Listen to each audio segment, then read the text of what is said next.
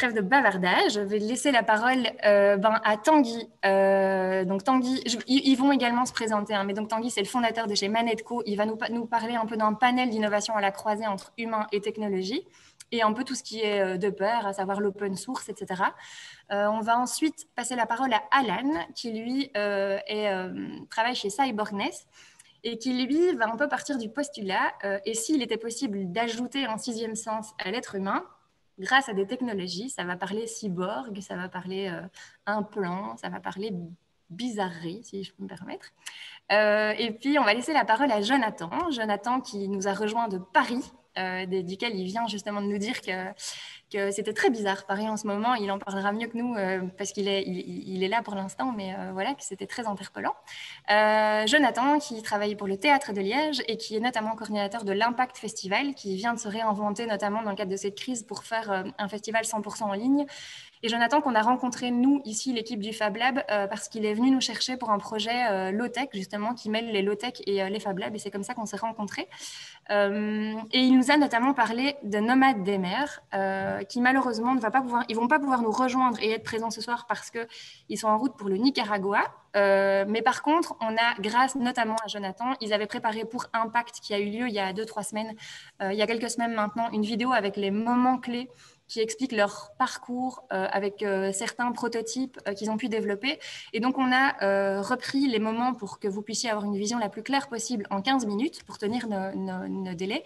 Et si vous avez des questions là-dessus, n'hésitez pas éventuellement à les poser. On est en contact avec eux. Et puis, Jonathan, justement, il y a quelques semaines, il a pu faire le même exercice par ailleurs avec déjà cette vidéo en première, partie. Donc, il pourra aussi nous aider à, à répondre à vos questions.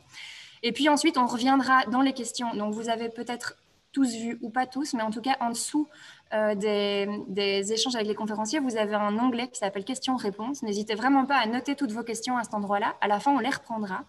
Euh, on reprendra toutes ces questions qui sont là, mais si vous préférez poser votre question oralement, alors il vous suffira à la fin, donc une fois que, je lancerai euh, ces débats-là, de lever la main et on vous permettra de prendre la parole pour poser votre question oralement. Voilà, c'en est tout pour moi. Moi, je vais hop, donner la parole. Voilà, j'arrête mon partage d'écran et je donne de ce pas la parole à Tanguy. Euh, voilà. Bonjour Tanguy, bienvenue. N'hésite pas à te présenter au tout début. D'accord. Bonjour, bonjour à tous. Euh, merci Laura pour, euh, pour l'introduction, pour l'invitation à cette soirée et me permettre de, de, partager un peu des idées.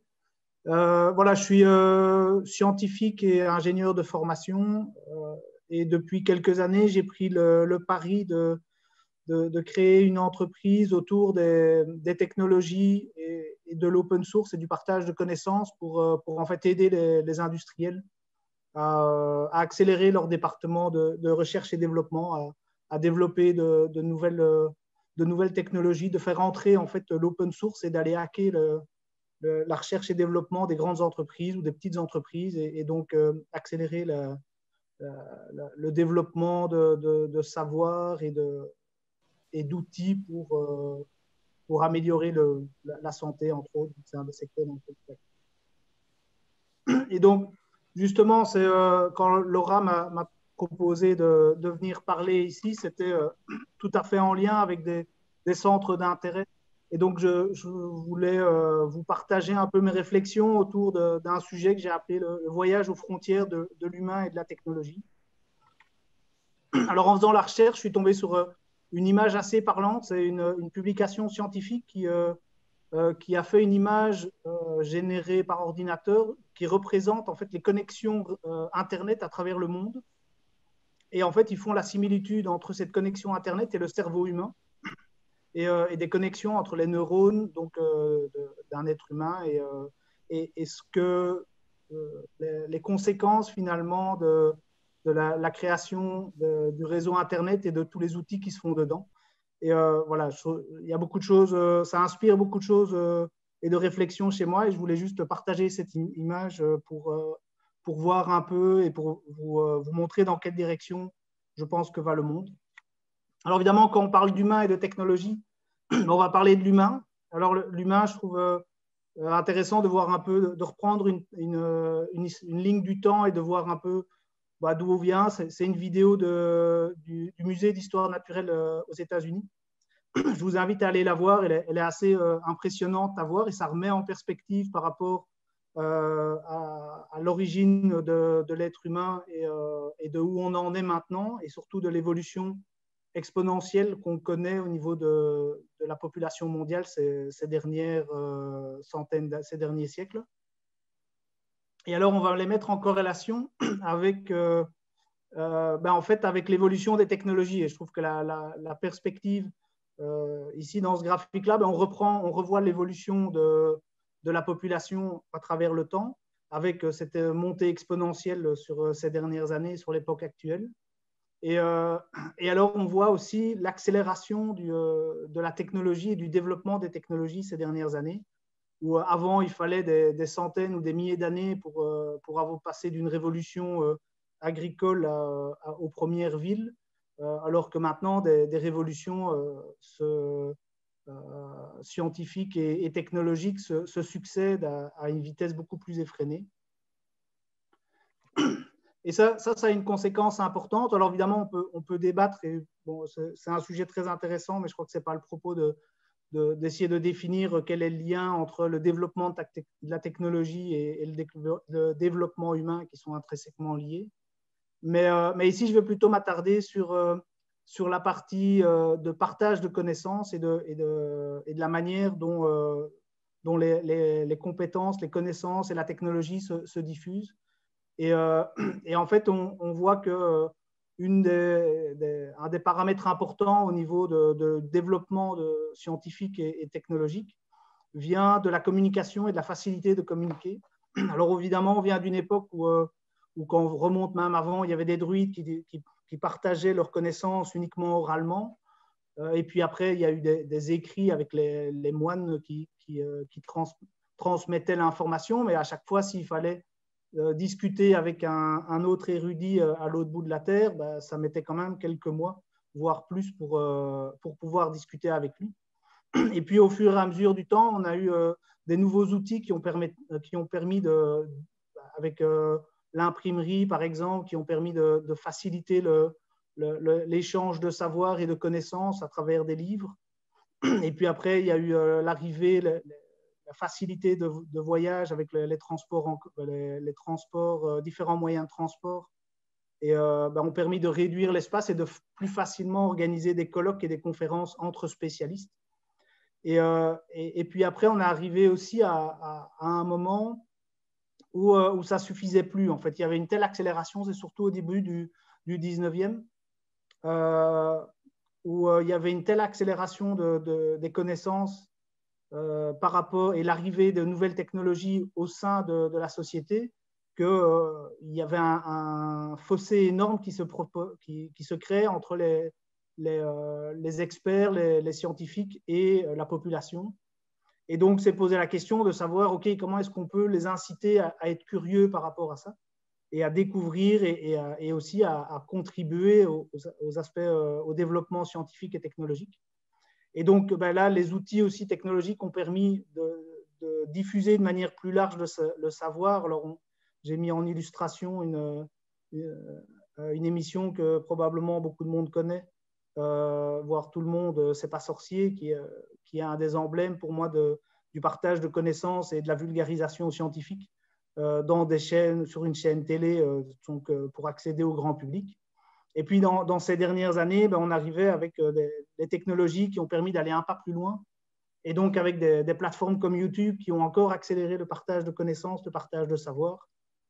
Et donc, euh, l'accélération de, tout ce développement technologique et ce développement de connaissances.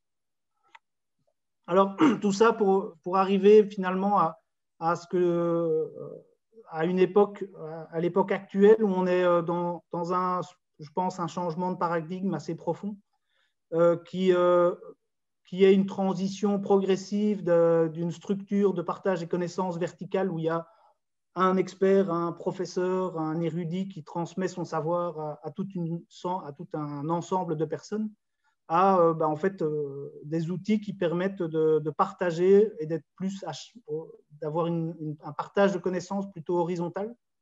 Et donc d'avoir en fait toute personne qui peut devenir plus ou moins expert ou qui peut en tout cas partager son expérience et en discuter, soit via des, plateformes, des chaînes, des chaînes YouTube où il partage, il découvre des nouvelles expériences et il les montre, il les met en commun avec tout le monde, des groupes Facebook ou GitHub dans lesquels on va, on va pouvoir parler de, de, des avancées. On va parler de manière plus ouverte, venant du monde scientifique où c'est euh, et industriel, où c'est très important de, présenter une idée que quand elle est aboutie, elle est suffisamment nickel et de surtout pas montrer les, erreurs ou, toutes les problématiques et, les galères qui ont été derrière pour aboutir à, la, réalisation.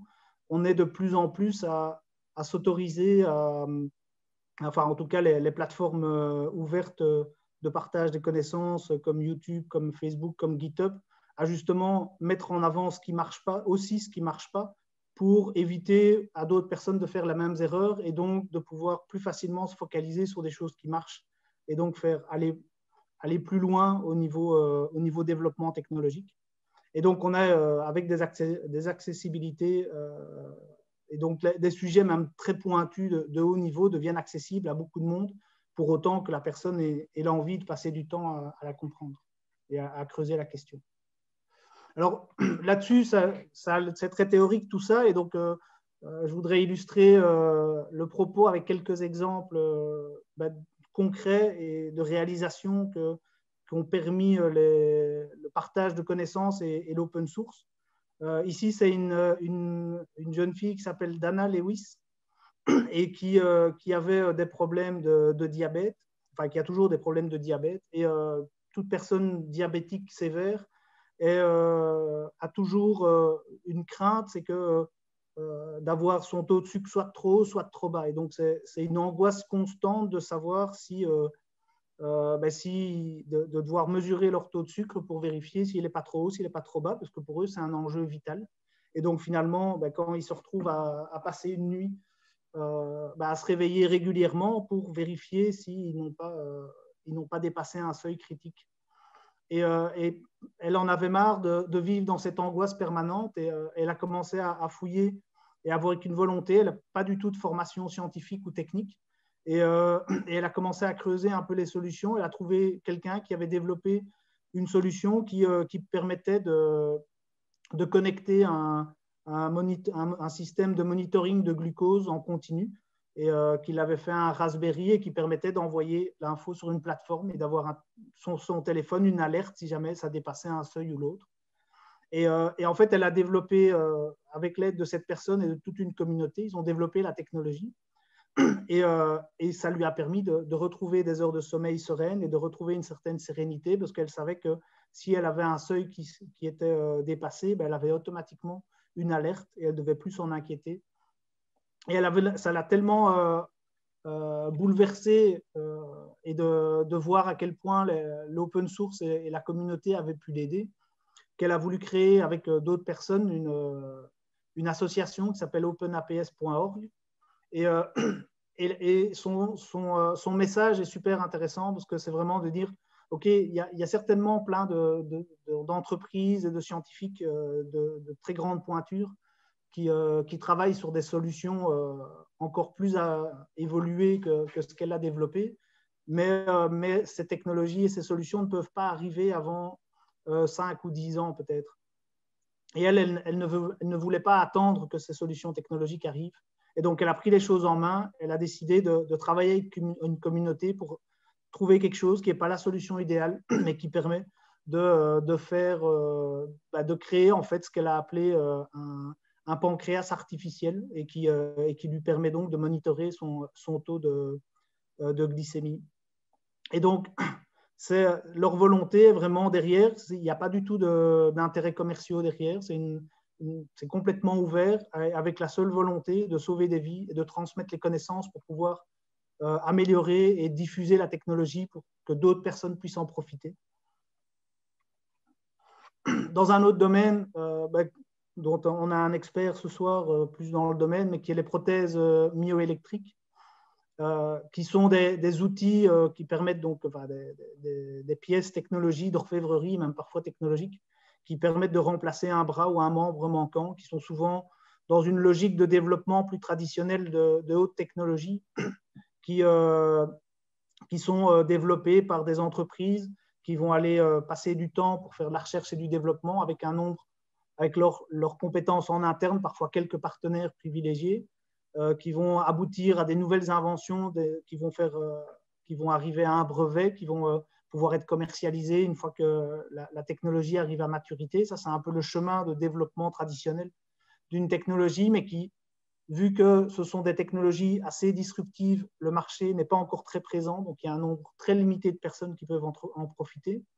Et donc, on se retrouve avec des coûts de développement et de recherche très importants qui doivent être répercutés sur un nombre de personnes très faible. Donc, on va avoir un prix très élevé avec une accessibilité évidemment limitée à cette technologie. Alors ça, a des avantages considérables au niveau de, très haute technologie et, d'avancées euh, importantes, mais en, attendant, il y a beaucoup de monde qui ne peut pas en profiter.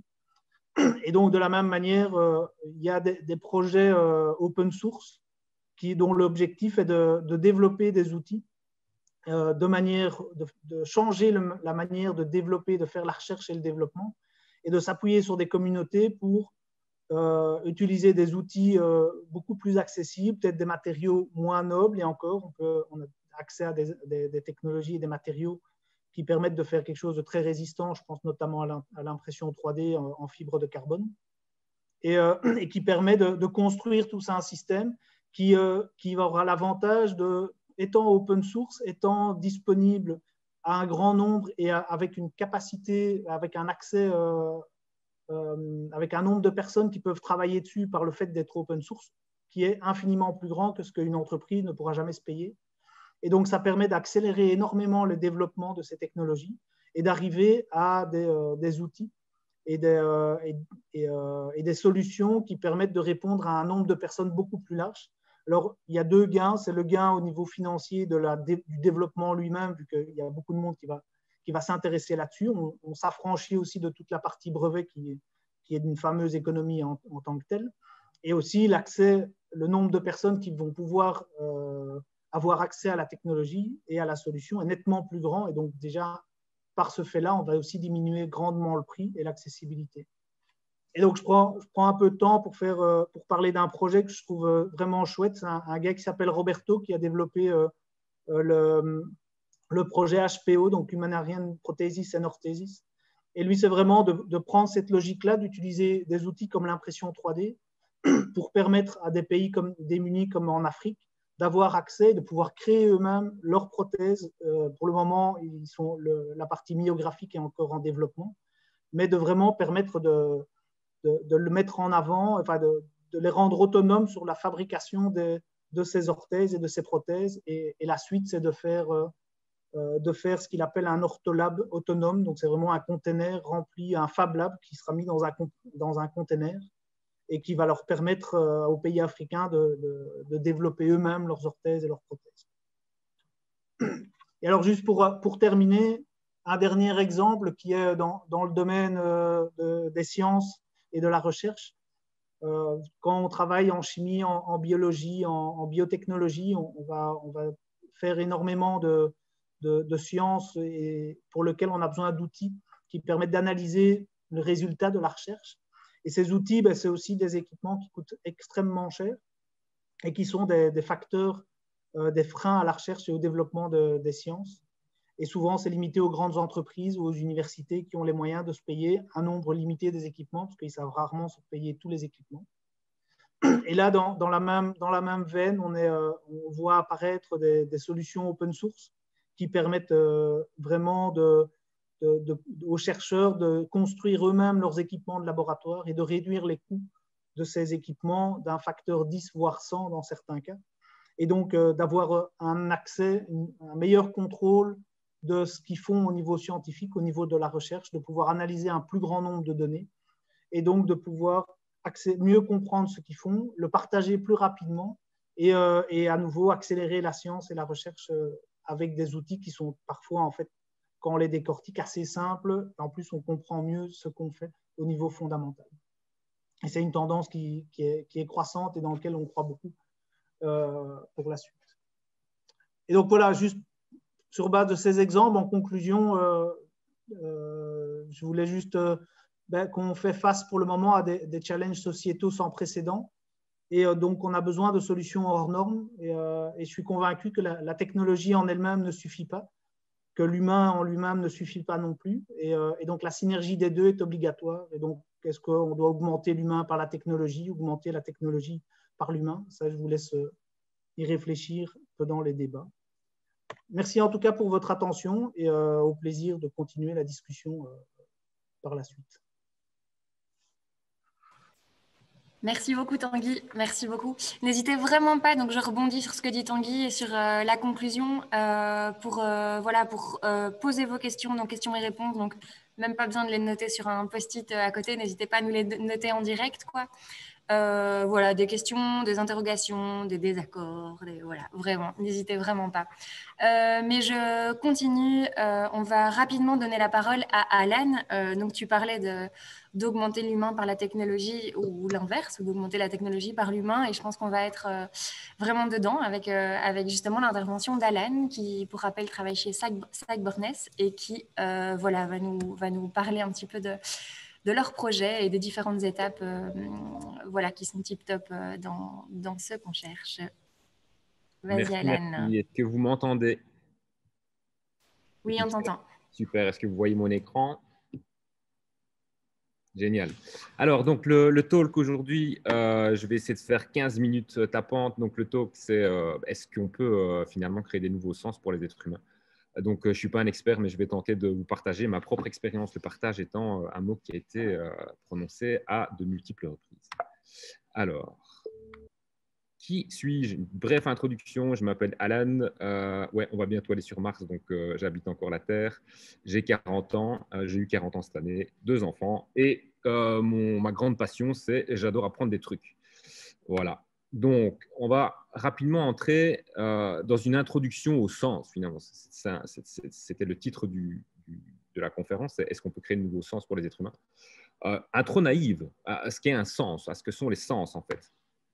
Eh bien, euh, nous, les mammifères, nous, avons des structures cérébrales qui sont assez similaires. Donc, une, une chauve-souris ben, voilà, a des structures cérébrales euh, très similaire au nôtre, nous avons un néocortex qui vient envelopper le tout et euh, cette, fine couche, cette fine pellicule de, cellules nous a donné un avantage ultime et nous sommes devenus le prédateur ultime sur la planète. Donc, tout ça pour dire que les cerveaux des mammifères sont en fait un organe très très très très intelligent, mais dans, euh, le noir le plus complet, dans votre boîte crânienne. Donc, pour interagir avec, avec l'extérieur, le, cerveau humain a besoin d'une interface fonctionnelle, c'est-à-dire qu'il est obligé d'avoir un, un, input euh, sensoriel. D'accord? Donc, si, euh, par exemple, je vous enlevais votre sens de l'odorat, peut-être que le Covid l'a fait, et que progressivement, je vous enlevais le sens de l'ouïe, et puis je vous enlevais le sens du toucher, et puis le sens de la vue, en tant qu'être humain, vous dépéririez. Voilà, vous avez besoin de vos cinq sens pour concevoir, euh, pour, vous représenter le modèle du monde. Donc, euh, on, voit que chez les, mammifères, euh, une chauve-souris par exemple, eh bien, ses, sens à elle lui permettent de se représenter le monde d'une manière différente d'un être humain.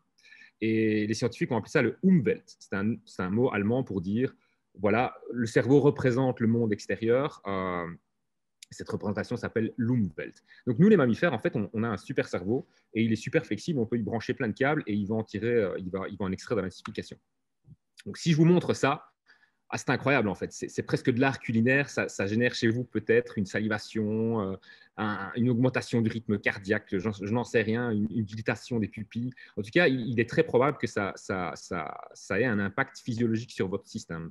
De même que ceci, finalement, est peut-être chez vous, euh, je ne suis pas responsable des gens qui vont vomir devant leurs écrans, je, vous le dis tout de suite, je vais revenir sur une, image sympa.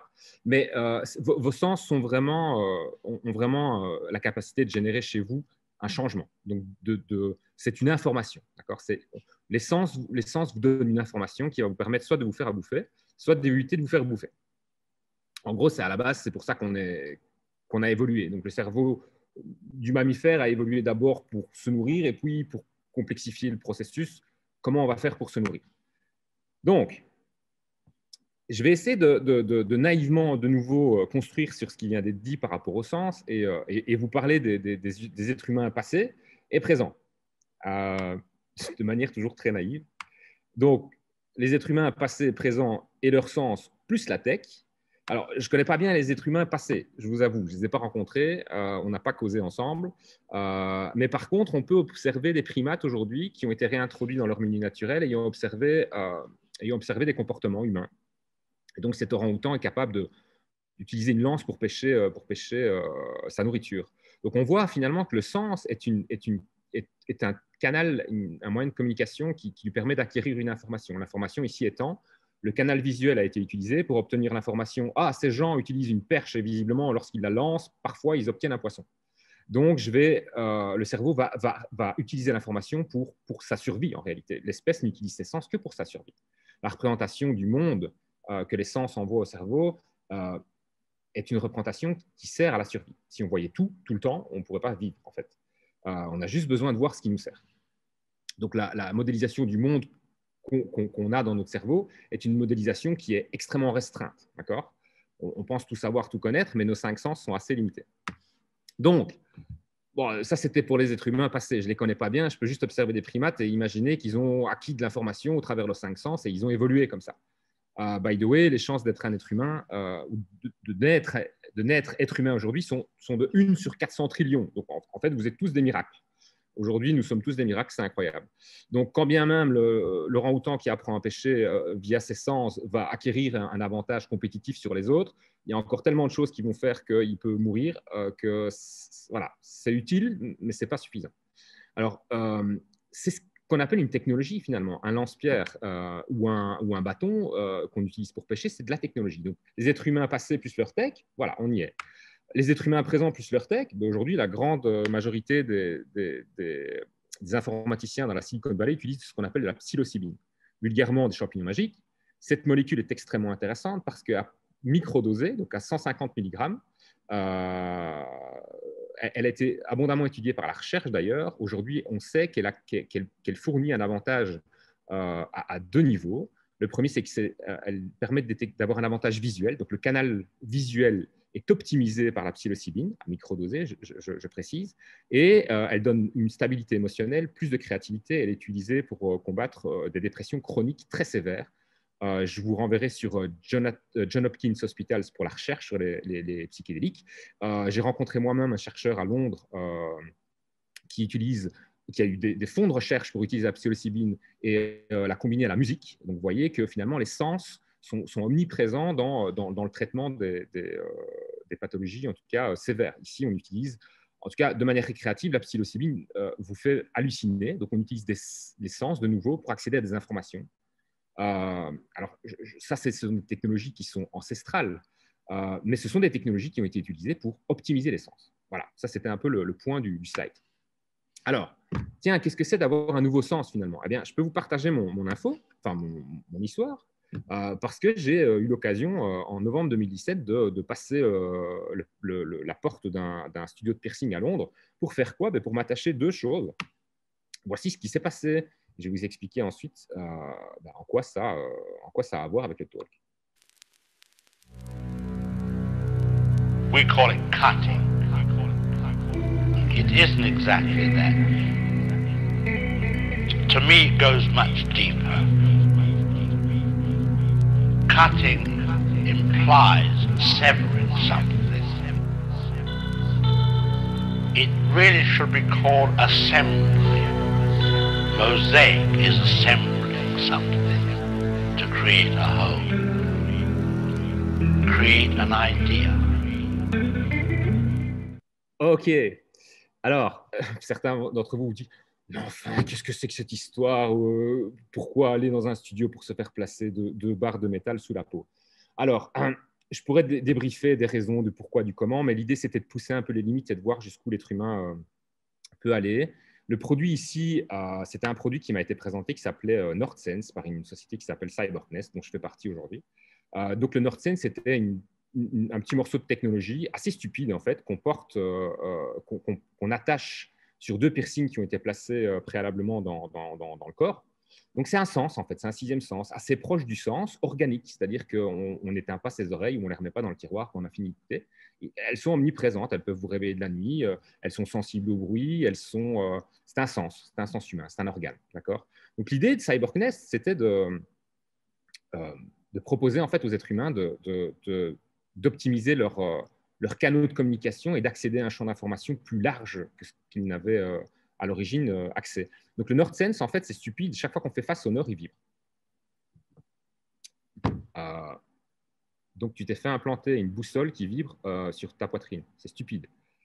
Alors, la démarche, c'est c'est pas de l'instantanéité. La démarche de la, technologie ici, c'est pas de la technologie instantanée. C'est pas Amazon Prime délivré deux jours plus tard sur votre porte et vous pouvez, avec le kick de dopamine qui vient de survenir dans votre cerveau parce que vous êtes super addict euh, au kick de dopamine, c'est super important dans votre vie, euh, la dopamine, eh bien, euh, vous obtenez une gratification instantanée.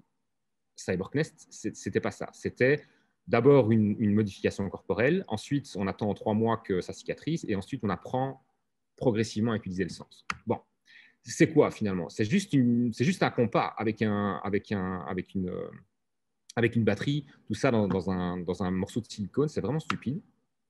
Mais si on, réfléchit finalement, euh, le cerveau humain est capable d'interpréter tout type d'information et d'en tirer de la signification. Donc l'idée de base de, du NordSense, c'était d'offrir un sixième sens dont le but est de, euh, d'acquérir finalement la, capacité à détecter le nord magnétique. Mais en réalité, les, aveugles et les non-voyants, dont on les a amputés d'un sens, on les a amputés du sens de la vue. Donc les malvoyants et les aveugles ont, un sens de la vue qui est soit déficient, soit euh, euh, complètement euh, défaillant, donc qui ne fonctionne pas du tout. Et on sait que la substitution sensorielle leur permet d'utiliser le sens du toucher pour apprendre à lire le braille. Alors de nouveau, ce n'est pas de l'instantanéité, c'est une technologie, le braille, qui, demande en fait à l'être humain de s'approprier cette technologie, de l'intégrer dans sa vie quotidienne de, câbler les, neurostructures cérébrales pour tirer de la signification de ce qui vient de lui être donné comme information. En réalité, on peut donner à un cerveau tout type d'information. On a pensé câbler une caméra euh, électronique avec, de l'organique, ça ne fonctionnerait pas. Eh bien, le, cerveau est capable d'interpréter les, les, signaux d'une caméra électronique à partir du moment où on stimule un nerf. Donc, on, voit que le cerveau humain peut se brancher sur une, infinité de sources d'informations. David Eagleman, en fait, en parle très bien. Euh, je vous invite à aller, euh, aller voir. Euh, il a un talk de 18 minutes qui, est vraiment focalisé sur est-ce qu'on peut ajouter des nouveaux sens aux êtres humains. Lui était un spécialiste, il en parle bien mieux que moi, mais, mais je vous conseille vraiment d'aller jeter un œil, c'est vraiment super intéressant. Donc, ce qui est en jeu en réalité ici, dans le NordSense, c'est que cette capacité à se localiser dans le temps, enfin dans l'espace plutôt, en fait, a un impact immédiat sur ce qu'on appelle euh, une, des structures primitives du cerveau humain, qu'on appelle l'hippocampe. Donc, si vous voyez, en fait, un cerveau, une structure cérébrale, elle a toujours un tronc, un, tronc euh, principal et elle, elle se complexifie euh, selon l'évolution et selon l'environnement dans lequel elle a été, dans lequel l'entité organique a été plongée. Et ici, on voit que l'hippocampe est une structure extrêmement euh, archaïque finalement du cerveau humain, et c'est le centre de la mémorisation. Donc on a longtemps pensé que le, cerveau humain était incapable de créer des nouveaux neurones, cerveau humain adulte. Euh, la science s'est trompée euh, jusqu'à une vingtaine d'années plus ou moins. On s'aperçoit aujourd'hui que on sait aujourd'hui que le, centre où on crée des nouveaux neurones, c'est l'hippocampe. Pourquoi? Parce que c'est le centre qui concentre la totalité des inputs sensoriels et qui consolide la mémoire. La mémoire qui est, elle, complètement fragmenté dans les différentes euh, aires du, cerveau, dont 33% est dédié euh, au traitement de, l'information visuelle. Donc 33% de votre, capacité à, de votre calculette, super calculette, est dédié au traitement de l'information visuelle. Donc c'est pour ça que finalement les écrans aujourd'hui sont omniprésents dans votre vie. Tout le monde est comme ça sur son écran parce que l'input, la bande passante visuelle est extrêmement forte. Par contre, euh, taper avec ses deux pouces, c'est extrêmement lent comme bande passante. Donc, l'hippocampe aujourd'hui est très intéressant à étudier, et notamment cinq, euh, universités à Londres euh, font de la recherche sur l'hippocampe et euh, les interactions entre un nouveau sens et la mémorisation. Moi, j'ai personnellement expérimenté en fait une, meilleure qualité mémorielle, donc j'ai une mémoire qui fonctionne mieux qu'avant. Elle fonctionne de manière temporelle donc je, et spatiale. On, pourra en, on en débattre, vous pourrez poser des questions. Le but, ce n'est pas de, faire un, exposé complet ici, c'est plutôt d'interagir. Donc l'hippocampe est vraiment le, centre qui est impacté par ces nouveaux sens, en tout cas le, sens de la localisation spatiale. Ça, c'est vraiment intéressant. Euh, alors, ici, on arrive vraiment à la fin, il me reste moins, moins de deux minutes. finalement, quelles sont les conclusions et quelles sont les directions qu'on peut imaginer? Euh, Alors, moi, je, je, je, me suis attaché à, à trouver des mentors, c'est-à-dire que je considère n'avoir rien appris encore dans ma vie. Euh, et, et, la technologie, aujourd'hui, on sait qu'elle peut, être, euh, elle, peut être utilisée pour asservir une société entière, ou la manipuler, ou l'utiliser. Euh, elle peut servir pour le bien commun. La technologie nucléaire peut servir pour les isotopes qu'on utilise en radiologie médicale, en, imagerie médicale, ou on peut faire péter un, pays entier. Donc, c'est le niveau de conscience humain qui utilise cette technologie qui est important. Et finalement, ce n'est pas l'abondance de la technologie aujourd'hui qui est le problème c'est la capacité de l'être humain à, augmenter sa conscience de lui-même, de son environnement et, des gens avec qui il vit, des, autres êtres avec qui il vit plutôt, et, d'apprendre à, avancer avec une technologie qui devient au service, qui est au service de l'être humain, qui ne l'asservit pas. Euh, je voulais vous laisser avec une petite, euh, vidéo et, je clôturerai là-dessus. Euh, Ici, on voit completely une, autonomous. Une, vidéo, There is a risk. Une petite pause, pardon. On voit une vidéo en fait d'un projet qui s'appelle euh, Jetman. Ils sont à Dubaï, c'est une équipe de trois et ils développent une technologie qui permet aux êtres humains, qui leur donne des, des, des, capacités augmentées. Eh bien, ici, c'est ça. L'idée du, du, du, sens, c'est d'augmenter l'être humain, de le connecter à des nouvelles capacités, de le rendre encore plus humain. Les gens, parfois, on, pense que d'avoir un, un, sens unique pour tout le monde, c'est-à-dire qu'on va standardiser les gens. En fait, si vous avez un architecte à côté de vous devant un terrain vague, même si vous avez 10-10 euh, à, vos deux yeux, enfin, chez, lui et chez vous, vous ne verrez pas la même chose. Donc, plus de sens, c'est encore plus d'humanité. Je vais vous laisser avec une dernière vidéo qui, a été absolument, euh, qui moi m'inspire vraiment. Et je vous la laisse. Et puis, euh, et puis si vous avez envie de discuter, ben, on échange.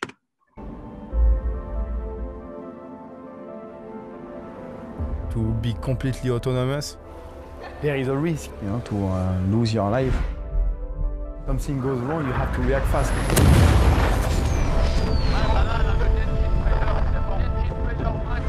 You accept the risk, but also you understand the rules that will help you to survive, and you apply these rules. That's how the human race has been growing as well. That's how people are flying now. At the beginning, with a few crazy guys that were trying to fly with an airplane, when it's new, you have so many people, they don't see, they don't have the vision, they don't understand, they don't want to understand. Why change something? Ah, you think it's impossible? We will show you the opposite.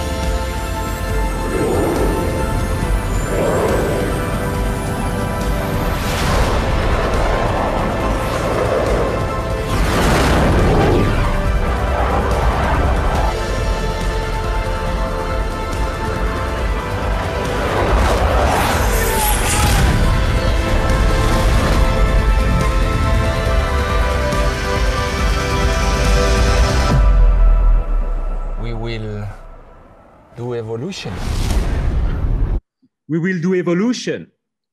On va créer l'évolution. Alors, ici, ce que je veux dire, c'est que on est des putains d'êtres humains. On a une chance sur 400 trillions d'être en vie et chacun d'entre nous peut, devenir encore plus humain. On a juste besoin de changer d'état de, conscience. La technologie est, un inébleur de dingue.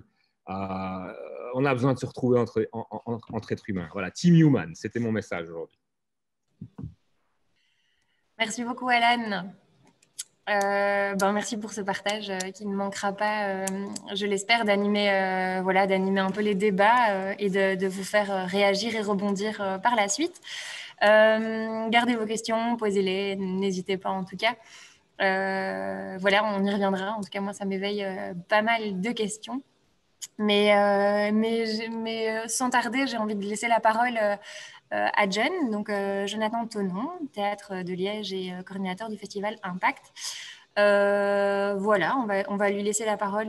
on va lui laisser la parole. Et puis donc, juste pour rappel pour ceux qui n'étaient pas là au début, Jonathan, donc on, l'a rencontré nous ici, l'équipe du Fab Lab, grâce notamment à un projet low tech, le low tech lab. Il nous a contacté dans ce cadre-là. Et c'est lui qui nous a fait découvrir notamment l'initiative de Nomades des mers. Alors l'équipe pourra pas être avec nous aujourd'hui, et je le redis, mais donc euh, une femme devait être euh, avec nous ce soir euh, parce que ça me tenait vraiment très très fort à cœur qu'on ait bon voilà une représentation des deux sexes ici ce soir. Mais malheureusement en raison des conditions notamment climatiques et puis ils ont dû embarquer pour pour aller au que je ne dise pas de bêtises, au Nicaragua. Euh, et donc, euh, ils ne seront pas là avec nous, mais par contre, on aura une vidéo qui, je pense, euh, vaut vraiment leur intervention qui a été faite justement il y a quelques semaines dans le cadre de l'Impact Festival dont Jonathan va nous, va nous parler maintenant. Et il pourra nous répondre aux différentes questions puisque lui a justement eu un débat avec eux, les connaît bien par ailleurs et a eu un débat avec eux il y a quelques semaines. là, on y reviendra, mais, mais sans tarder, Jonathan, bah, je pense que la parole est à toi. Merci. Je ne sais pas si on m'entend bien. On t'entend bien, oui. Super. Bah, merci, euh, merci à toi pour l'invitation et pour les présentations, Tanguy et Alan, c'est très inspirant. Et alors oui, euh, je ne représente pas Nomades des mers ici, mais c'est vrai que j'ai eu la chance de les accueillir dans le cadre du festival euh, il, y a, il, y a, trois semaines maintenant. Le temps file assez vite. Ils sont sur un bateau, en effet, entre le Mexique et le Nicaragua, un bateau qui, depuis quelques années, navigue sur les océans un peu partout dans le monde à la recherche des meilleurs low-tech. Euh, et donc de voir comment finalement les technologies euh, millénaires finalement euh, peuvent aussi nous servir encore aujourd'hui. Donc ça, c'est le projet du domaine des mers, j'y reviendrai peut-être tout à l'heure. Donc c'est assez amusant d'être ici dans cette table ronde, on va dire, hein, virtuelle, entre la high-tech et la low-tech, et d'entendre Alan parler tout à l'heure, je, trouve ça extrêmement fascinant. Donc dans le cadre du festival, je vais y revenir rapidement, il, y a, trois semaines, on, en fait, on avait deux, grands axes de réflexion. Il y en avait un sur le transhumanisme, ben voilà, on vient d'en parler. Euh, et c'était aussi une des questions qu'on a soulevées dans le cadre du festival à travers plusieurs spectacles et tables rondes. Et une autre sur, sur les low-tech à travers aussi euh, tables rondes et, spectacles. Et c'était deux, grands moments du, festival. Et en entendant Alan parler, finalement, je me disais, euh, on a peut-être une vision, on en discutera peut-être après, mais, je, commence par ça. Mais je me disais, finalement, on a une vision un peu erronée de, de, l'augmentation de l'humain par la technologie. On a l'impression qu'on se transforme en quelque chose de high-tech, mais en fait, on devient complètement low-tech parce qu'on se greffe des choses qui sont extrêmement, qui sont beaucoup, beaucoup plus simples à manipuler que notre cerveau, que notre corps, etc. On se, on s'augmente, mais on se, on se, facilite la tâche, entre guillemets, aussi en s'implantant des puces qu'on connaît très bien et beaucoup mieux que notre cerveau, finalement, qui sont beaucoup plus faciles à traiter euh, que notre cerveau, beaucoup plus faciles à réparer aussi, finalement, que notre corps. Donc, euh, c'est amusant parce que euh, un des grands concepts de, la low-tech, c'est la question de la réparabilité. Et cette question-là se retrouve aussi dans le transhumanisme. C'est l'idée de réparer son propre corps, ou en tout cas de, de, de résister à la mort qui finalement nous attend tous à un moment donné de, notre existence. Donc, je trouve ça assez amusant. Ça ne m'était jamais vraiment apparu, mais euh, que tu aies dit que tu t'es implanté une puce un peu idiote, je me suis dit, bah oui, en fait, ces technologies, elles sont, beaucoup plus simples que la technologie qui constitue notre corps. Et donc, euh, on pourra peut-être en reparler. Donc, malheureusement, euh, je suis un peu gêné. Pas, par paresse ou par fatigue, j'ai pas fait un aussi beau PowerPoint qu'Alan, mais je vais je vais peut-être euh, innover en retournant en arrière, en simplement scrollant autour de quelques onglets que j'ai ouverts pour vous faire une espèce de, parcours aussi. Donc, si je suis là aujourd'hui, Laura a gentiment euh, bien voulu m'inviter. Euh, je suis spécialiste de pas grand-chose en fait. moi, ce que je fais, c'est que je travaille au Théâtre de Liège. Donc voilà, Happy 21, comme ça, c'est fait. J'espère qu'elle sera meilleure que cette année. Donc, je travaille au Théâtre de Liège, en effet, pour ceux, qui ne, le savent pas. Euh, depuis quelques années maintenant et je dirige le, festival qui s'appelle APACT, qui est euh, un acronyme de, International Meeting in Performing Arts and Creative Technologies. Donc l'idée de rassembler les arts de la scène et les technologies, c'était au départ en tout cas l'idée, euh, une réflexion entre, la, rencontre des arts vivants et des, des, des techs, on va dire. C'est un projet qu'on mène depuis pas mal d'années maintenant, 4 à 5 ans je crois et qui, a beaucoup évolué et qui vient de se, tenir là euh, dans une version un petit peu, euh, peu étrange, effectivement, en plein lockdown, qu'on a fait exclusivement en ligne avec des, nouveaux projets. qui a été assez, assez amusant, je dois dire. Donc, c'est un projet euh, disait qu'il existe depuis, depuis 4 ans, que j'ai la chance de pouvoir on va dire, programmer dans le cadre de mes activités au Théâtre de Liège, où je fais à la fois ça, mais aussi pas mal de fundraising, comme on dit. Donc, j'essaie de trouver de l'argent pour financer des projets, ce qui est assez amusant aussi, mais moins que de programmer un festival. et donc, c'est un projet, c'est un festival en fait qu'on a monté au tout début et qui, moi, me tenait beaucoup à cœur parce que j'aimais beaucoup cette idée d'articulation entre l'art, la science et la technologie. Et surtout, ce qui, me fascinait, c'est, euh, et tout à l'heure, Tanguy a parlé de cette période hein, de, la fin du 19e et, du début du 20e, où on retrouvait des, figures euh, assez particulières d'artistes scientifiques, des figures un peu hybrides comme ça. On pense à Edison, on, pense, euh, on pense même aux frères Lumière, finalement, qui étaient à la fois des artistes et des scientifiques, et où finalement le la, relation entre la science était peut-être plus, euh, plus organique à ce moment-là, qu'on a peut-être un peu perdu ces figures de, personnages un peu bricoleurs, comme les appelait, les, appelait Lévi-Strauss, entre, entre l'ingénieur et l'artiste, comme ça. Euh, et moi, c'est, en tout cas, c'est, une figure qui m'a beaucoup euh, accompagné au début de la réflexion sur, sur, ce festival. On a notamment travaillé sur, sur la figure de Robertson la toute première année. C'est vrai que c'est toujours quelque chose, c'est toujours quelque chose que j'ai essayé de mettre en avant, des, des, personnalités, des artistes qui avaient cette espèce de double identité, un peu bricoleur, qui chipotait un peu avec la technologie, mais qui faisait aussi euh, pas mal, pas mal d'artistique. Donc, euh, effectivement, j'ai eu le bonheur. Euh, voilà, je vous scrolle un petit peu tous les projets. C'est un, le projet Impact, c'est à la fois du théâtre, de la danse, mais aussi des arts plastiques. Euh, voilà, je ne vais pas vous faire le détail ici, vous voyez plus ou moins en, passant au-dessus de, des images ce, de quoi il retourne. Je pense que c'est assez connu de tout le monde. Vous reconnaissez peut-être certains artistes, Eric Arnal ici au-dessus, etc., etc. Mais surtout, ce qui est amusant, si je reviens au tout premier projet qui constitue l'ouverture du festival en, en 2017, c'est un projet que, j'avais découvert quelques années auparavant euh, d'un artiste que j'aime beaucoup, qui est un ami, qui s'appelle Ezra, qui est euh, beatboxer. Et euh, c'est un projet auquel j'avais beaucoup tenu, parce qu'en fait, Ezra est, beatboxer, mais c'est aussi quelqu'un qui a eu la chance d'être incubé dans un atelier qui s'appelle l'atelier Art Science chez les collègues à Grenoble, au théâtre de Grenoble, qui est un atelier qui est qui accueille des artistes en résidence et qui leur permet de travailler avec des ingénieurs et, des, chercheurs de l'Université de Grenoble et euh, du CEA aussi, puisqu'il y a une antenne du CEA euh, à Grenoble.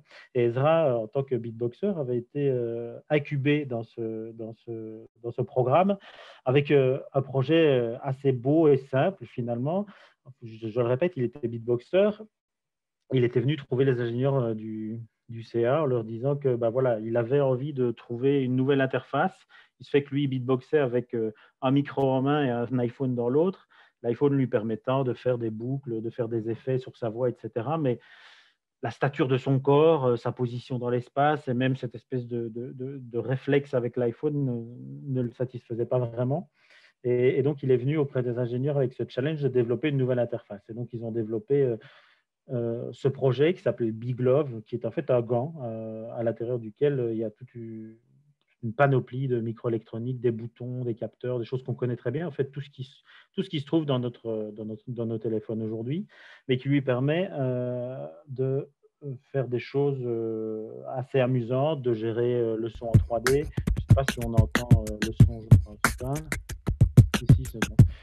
De pouvoir gérer le son dans l'espace, pouvoir faire des, le monter, le diminuer, faire, faire, des boucles, faire des effets, etc.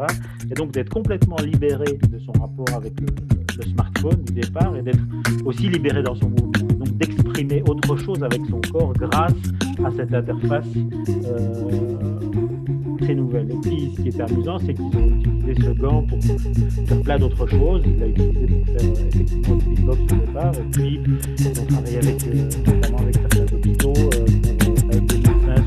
la des mouvements de la main pour les gens qui avaient fait des etc. Donc c'est un projet qui est parti du secteur artistique pour en ressortir et aller explorer ailleurs. Ils ont aussi exploré sur la, manipulation d'objets à distance, etc. Beaucoup de choses. Moi, ce qui, m'intéresse beaucoup, je vais couper le son derrière parce que peut-être que c'est un peu dérangeant qui m'intéressait beaucoup dans, cet exemple, c'est cette rencontre assez fascinante entre des chercheurs en, haute technologie, des, des, ingénieurs, un artiste.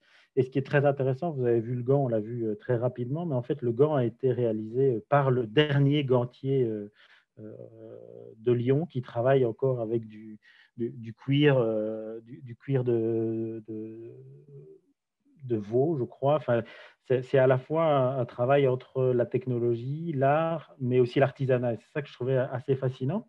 Et donc, euh, voilà, Ezra, euh, ça fait quelques années qu'on le suit. Il avait été vraiment un des premiers euh, à, ouvrir le festival. Et il se fait que l'année dernière, il est revenu vers nous, où il y a peut-être un tout petit peu plus, il y a deux ans maintenant, avec un nouveau projet qui abordait cette question d'Elotech. Parce que c'est quelqu'un qui, qui, réfléchit à ça depuis pas mal de temps. L'idée de la low-tech, c'est l'idée des technologies qui sont déjà là, qui sont appropriables, entre guillemets, et qui ont comme vertu de pouvoir être sobre, sobre pardon, en, utilisation de ressources, parce qu'on sait que le numérique et la technologie, c'est aussi une ressource, c'est une ressource qui est limitée, effectivement.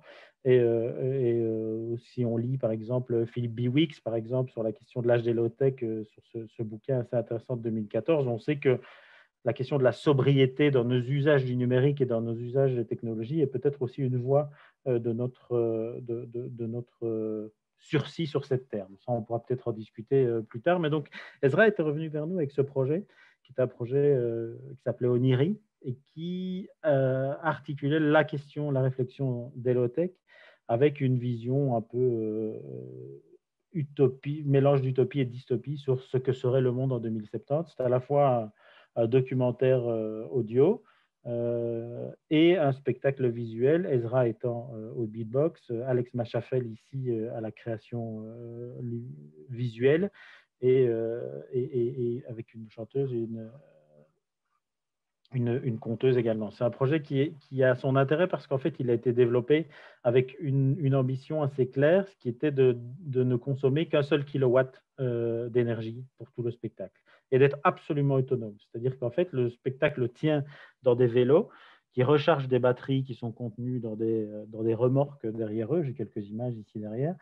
Euh, et qui en fait peut se monter absolument en dehors de tout euh, système de diffusion traditionnel, en dehors de tout dispositif de salle de théâtre traditionnel. Il peut se monter dans les endroits, au milieu d'un pré, au milieu d'une place, etc. Et donc, l'énergie qui est fournie effectivement par ces batteries, par ces panneaux solaires et par, euh, par l'énergie musculaire du vélo peut, sert à créer le spectacle et à le, et à le rendre visible. Je trouvais que c'était un projet assez beau. Le projet a été créé euh, l'été dernier euh, entre le premier et le second lockdown, entre le premier, la première et la seconde vague, et donc a eu, a eu assez peu de, de, de, de mois d'exploitation. On devait l'accueillir dans le cadre du festival ici. Malheureusement, on n'a pas pu, mais on a quand même tenu à, réfléchir euh, à la question d'Elotech parce qu'à partir de ce spectacle-là, effectivement, dans le cadre du festival, on, a commencé à réfléchir à cette question-là. C'est à travers euh, Ezra et la compagnie que j'ai pu euh, rentrer en contact avec le Nomade des Mers, avec Corentin Châtel-Perron et Caroline Pulse qui se trouvent maintenant sur, sur, le bateau parce que vous voyez ici celui avec son t-shirt des Celtics, c'est le directeur technique euh, du spectacle Niri, qui est en fait le fondateur, un des fondateurs du Lotec Lab Concarneau, euh, qui est en fait un des premiers Lotec Lab de France. Aujourd'hui, ça commence à s'aimer un peu partout. Il y en a aussi à Bruxelles. Hein. Je pense peut-être que dans le chat, il y en a certains qui font partie du Lotec Lab euh, Bruxelles ou même de Liège. Et donc, il y a vraiment cette, cette espèce de, cette, idée que la, question des low-tech commence à percoler un peu partout. Et donc, c'est vrai que nous, on avait, on avait imaginé vraiment ancrer cette réflexion-là euh, euh, dans, le cadre du festival. Je vous remonte encore une, image euh, du, spectacle. Les images sont assez belles parce qu'en fait, elles sont faites, on pourrait croire que des images sont complètement en 3D, mais elles sont faites simplement avec un appareil, un appareil photo et quelques, quelques maquettes en 3D qui sont filmées en macro. Et on a presque l'impression d'avoir des, images de, de, CGI qui sont en fait simplement des, des, photographies macro d'objets physiques. Et alors, ça, il m'a été donné de découvrir euh, à travers eux, donc du coup, euh, l'initiative Lotec Lab. Euh, donc le Lotec Lab, je, le redis très vite, donc c'est cette initiative qui est née à partir de l'expérience du nomade des mers qui s'appelait Gold of Bagel il y a quelques années. Ils se sont ils se sont rebaptisés Nomades des mers. la personne qui est à l'origine de ça, c'est Corentin Châtel-Perron. C'est un ingénieur qui, est parti quelques années en Asie du Sud-Est pour euh, travailler sur euh, la fibre, sur un, nouveau matériau qui est de la fibre de jute en fait, qui remplace euh, là-bas la fibre de carbone et qui a construit là-bas un bateau en fait. en fibre de jute. Donc la jute, hein, on sait, c'est ce qui constituait nos sacs de pommes de terre à l'époque. Je pense qu'il n'y en a plus beaucoup de sacs de pommes de terre en jute aujourd'hui, mais enfin, soit il se fait qu'il a construit un bateau en fibre de jute. Et pour prouver que son matériau était efficace, eh ben, il s'est dit, bah, je vais partir, je ne sais plus exactement où il était, en Asie du Sud-Est, je vais prendre le bateau que j'ai construit et je vais retourner en France. Et donc, il est retourné en France. Bon, l'expérience a été assez, beaucoup plus compliquée que ce qu'il ne pensait. Il a dû faire plusieurs haltes euh, sur, la route, mais ces haltes lui ont permis de découvrir euh, dans les différents pays qu'il a explorés des populations qui vivaient avec ce qu'il a découvert comme étant des, des low-tech, c'est-à-dire des technologies appropriables. Vous voyez ici le poilito, euh, le meuble lavabo, il y, en a des tonnes, le chauffard solaire avec ardoise. Et donc, il a développé ce projet du nomade des mers en se disant, je vais acheter un bateau, euh, je vais euh, le, transformer, je vais l'habiter et je vais le prendre et je vais sillonner les mers pour pouvoir aller voir dans le monde entier quels sont les low-tech que les gens utilisent et qui, sont, qui ont disparu un peu de nos usages quotidiens. Et, et donc, sur cette base-là est né ce, ce, site que vous voyez là euh, sous vos yeux, qui s'appelle le Lotec Lab, qui est en fait un espèce de wiki et où vous, euh, pouvez euh, chercher à travers des, centaines, si pas des milliers de dispositifs à construire vous-même de ce qu'on appelle de low-tech, donc de technologies appropriables qui sont sobres en ressources et qui sont facilement constructibles directement chez soi avec parfois trois fois rien. Donc, ce qui nous intéressait là-dedans, c'était de voir à quel point on pouvait aussi, non pas opposer la question de la high-tech et de la low-tech, mais de voir comment on pouvait aussi revenir à des usages euh, sobres, d'une part, et d'autre part, de voir aussi où se trouvaient certains points d'innovation, parce que je pense que même dans les low-tech, il y, a, des questions, il y a des briques qu'on réutilise et qu'on peut euh, transformer pour amener euh, à des usages qui sont absolument innovants.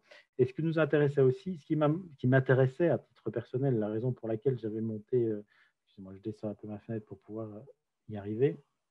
Euh, j'avais monté ce focus, c'est qu'il y avait eu une, une exposition à Paris euh, il, y a, quelques années sur la question des low-tech qui était en fait autour de la question de l'habitat durable. Et donc, la raison pour laquelle Laura disait tout à l'heure, j'étais venu vers eux et vers le Fab Lab, c'est qu'avec le Fab Lab de Liège, on s'était dit, tiens, pourquoi pas dans le cadre du festival ici, remonter cette exposition, qui est une exposition en, open source et qui prend qui prend appui sur la, problématique de l'habitat et de voir comment on peut euh, intégrer ce low-tech dans nos vies de tous les jours et dans l'habitat, puisqu'on sait que euh, effectivement euh, nos, habitations sont, un point crucial quant à, nos, quant, utilisations de ressources énergétiques et de, de, matériaux. Et donc il y, avait, il y avait cette exposition et j'avais proposé effectivement au TRAC et au RILAB à Liège de remonter cette exposition Malheureusement, le, lockdown et la, seconde vague nous a euh, coupé euh, dans notre élan.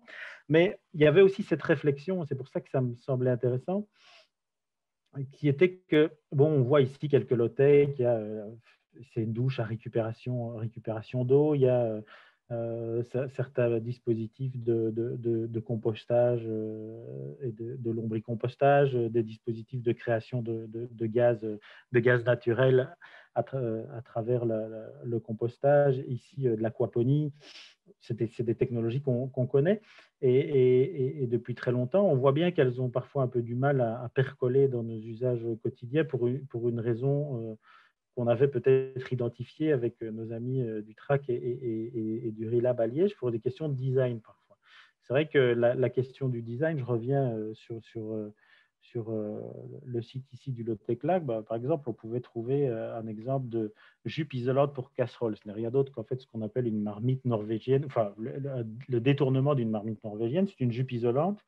C'est un dispositif qu'on met autour d'une casserole qui permet de faire chauffer de l'eau et de la garder à température le temps de cuire des pâtes. En fait, vous faites bouillir votre eau, vous mettez ce dispositif qui est ici autour de votre casserole et ça vous permet de garder l'eau entre 100 et 80 degrés pour la durée de cuisson de pâte normale, environ 10 minutes. Donc, qui permet de couper complètement votre feu. Donc, voilà, ça c'est une technologie qui est facilement constructible. On voit ici, hein, vous avez sur le wiki le coût, la durée, etc. Mais on peut voir aussi que on est plutôt dans ce que mes amis de Liège, de, de HLO, appellent le prototypage baraki. Euh, c'est-à-dire quelque chose qui est euh, pas très beau, euh, pas très esthétique et finalement pas très désirable. Et donc, la, réflexion qu'on s'était faite, c'était de se dire aussi comment rendre Cellotech désirable et comment le faire. Et effectivement, c'est de passer par le design et le, redesign. Donc, on avait imaginé avec euh, Sylvain euh, et, Brian du Relab euh, à Liège, effectivement, de partir de ce dispositif-là très très simple et facilement accessible à tout le monde, de travailler avec les machines qui sont disponibles au Relab, les découpeuses, les, découpeuses laser, etc., et de redesigner le dispositif pour que les gens puissent venir, dans le cadre de l'exposition, construire leur propre jupe isolante, mais qui serait du coup désirable, qui serait très jolie et qui serait euh, finalement euh, même assez belle à exposer dans son intérieur, parce qu'on sait que la question du design aujourd'hui, on, vit tous dans des maisons euh, plus ou moins plus ou moins esthétiques. On sait qu'il y avait ce fameux bouquin d'Yves Michaud, je pense que c'était en 2004, la question de, l'art à l'état gazeux. On sait que la question de l'esthétique et du beau se diffuse dans la société.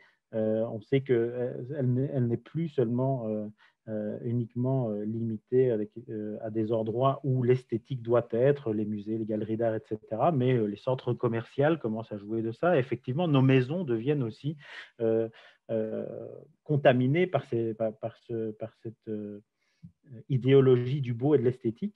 Et on a du mal parfois à accepter ce genre, de, ce genre de dispositif un peu moche, comme ça, comme une jupe isolante. On s'était dit, donc du coup, le redesign peut être peut être fait. Comme l'ont fait par exemple certains, euh, certains collectifs. Ici, vous avez le collectif euh, BAM qui avait travaillé notamment sur, un, sur une cuisine low-tech, qui était en fait, ici, vous voyez, euh, le développement d'un module de cuisine avec de l'aquaponie, avec de la récupération de déchets et de la création aussi de, de gaz naturel, le tout savamment designé pour le rendre désirable. Il y avait vraiment cette question de la question euh, pour un avenir euh, durable et, désirable.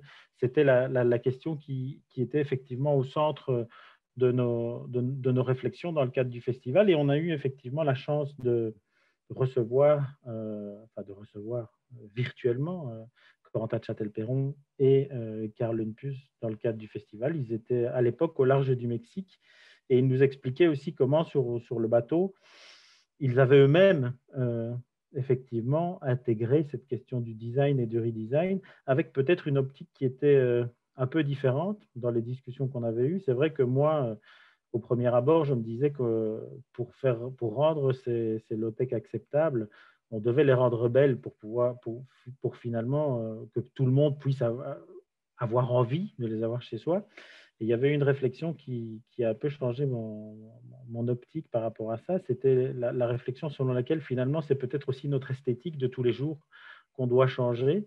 Et je reviens sur cette question et, rendre les choses qui nous entourent de plus en plus réparables en fait.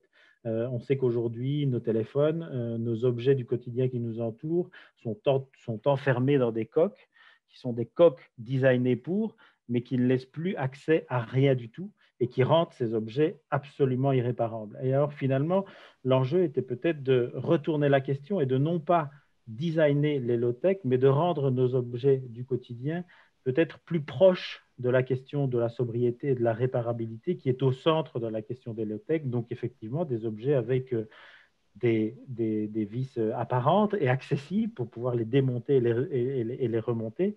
Et donc, il y a effectivement ces, ces deux chemins-là qui se sont croisés euh, dans, dans, dans, notre réflexion. Et je reviens sur cette question de la réparabilité. Je pense qu'on n'était pas très, très loin euh, de, des questions qu'on a abordées tout à l'heure avec Alan aussi. Et moi, ça m'intéresse beaucoup et je lance peut-être cette perche-là pour terminer ce qui n'était une intervention, simplement une courte euh, discussion sur, euh, sur la question du, transhumanisme. Est-ce que finalement, le, ce qu'on appelle le transhumanisme n'est pas aussi dans cette optique de, non pas augmenter l'homme, mais le rendre plus simple à réparer, euh, lui adjoindre des choses, certes l'augmenter, mais l'augmenter avec des technologies qui sont finalement extrêmement simples, manipulables, réparables, et en tout cas des technologies qu'on comprend beaucoup mieux que les technologies du corps humain et biologique euh, desquelles nous sommes faits. Et ça, je trouve, ça, me, fascine un peu.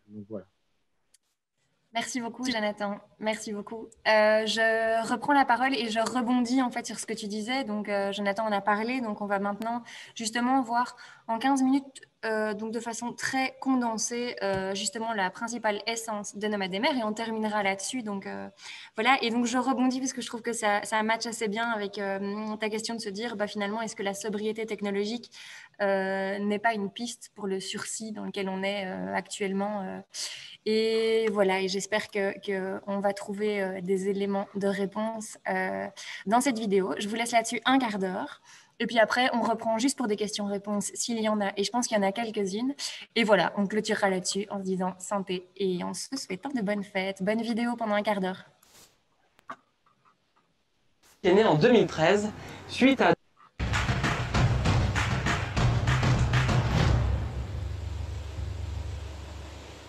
Bonjour, je m'appelle Corentin et je suis président du Lotech Lab. C'est une association française qui est née en 2013 suite à deux constats. Le premier constat, c'est que partout autour du monde, il y a des inventeurs qui inventent des systèmes super ingénieux pour répondre à leurs besoins de base. C'est des systèmes qui se basent sur des ressources et des compétences locales pour répondre à des besoins comme l'accès à l'eau, l'énergie, la nourriture, les matériaux de construction, l'hygiène ou encore la santé. Et donc c'est des gens qui inventent des éoliennes, des fours solaires, des systèmes de recyclage, des systèmes de production de nourriture, etc. Avec des moyens qui sont très locaux et en se basant sur l'entrepreneuriat local. Le problème, c'est que la plupart de ces innovations, aussi ingénieuses soient-elles, ne sont pas répliquées par tous les gens qui pourraient en avoir besoin. Pourquoi? Parce qu'il n'existe pas de vecteur de communication pour diffuser ces, ces innovations qu'on appelle des low-tech c'est-à-dire des technologies ou des savoir-faire qui, qui sont à la fois utiles, accessibles et durables. Et le deuxième constat, c'était en 2013 à la naissance de l'association, et à ce moment-là, c'était vraiment un boom mondial des gens qui pouvaient se connecter à Internet.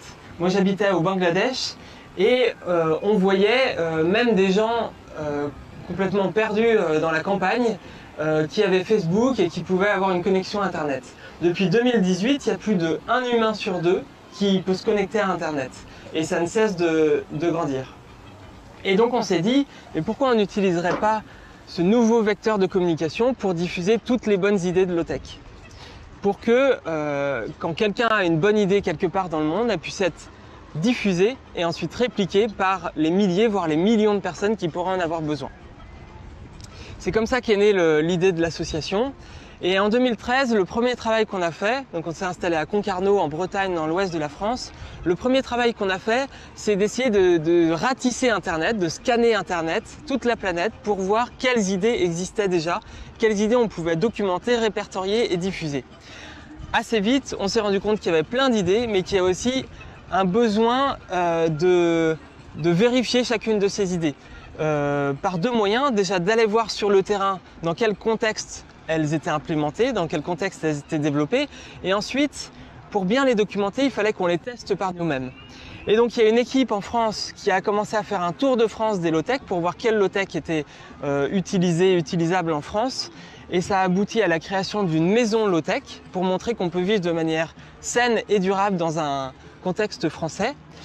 Et avec euh, mon équipage, on est parti. Alors, on a acheté euh, ce bateau qui s'appelle Nomade des mers, un grand catamaran. On l'a acheté en 2015 et on l'a rénové complètement pour le transformer en laboratoire flottant. Et on est parti pour un voyage qui dure déjà depuis près de 5 ans sur tous les continents à la rencontre des meilleurs inventeurs low-tech. Et à chaque escale, donc on s'est arrêté euh, au Sénégal, euh, au, Maroc, au Cap Vert, au Brésil, en Afrique du Sud, à Madagascar, euh, aux Seychelles, au Sri Lanka, en Inde, en Thaïlande, en Malaisie, à Singapour, à Bornéo, aux Philippines, à Taïwan, aux États-Unis. Et maintenant, on est au Mexique. À chaque escale, on rencontre des inventeurs. Ils nous présentent sa solution dans son contexte. On les teste à bord du bateau, donc qui est devenu un vrai laboratoire flottant. On documente chacune de ces solutions. On en fait des tutoriels écrit pour une plateforme internet qui qui est collaborative, qui s'appelle lowtechlab.org. Euh, on en fait des tutoriels vidéo qui se diffusent via les réseaux sociaux partout dans le monde et via YouTube, et euh, des documentaires pour la télévision, pour la chaîne de télévision Arte. Depuis 5 ans, on a découvert une cinquantaine de technologies qui nous semblent vraiment à haut potentiel pour répondre aux besoins de base de manière très locale et accessible à tous. Et notre rêve, c'est que toutes ces solutions soient répliquées par des milliers d'entrepreneurs ou d'ONG ou de particuliers autour du monde pour que bout à bout, toutes ces solutions très locales parviennent à hum, s'adresser à tous les enjeux globaux de la planète qu'on a aujourd'hui. Je vais vous montrer un peu ça. Je vais vous présenter l'équipage. Ça, c'est Guénolé. Qu'est-ce que tu fais à bord, Guénolé?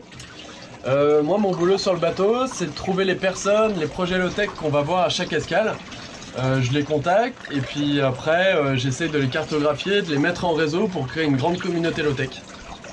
Super. Là, il y a Sidonie. Salut Alors moi mon boulot c'est de filmer, de documenter les low-tech afin de réaliser des tutos et pour pouvoir les diffuser auprès de tous.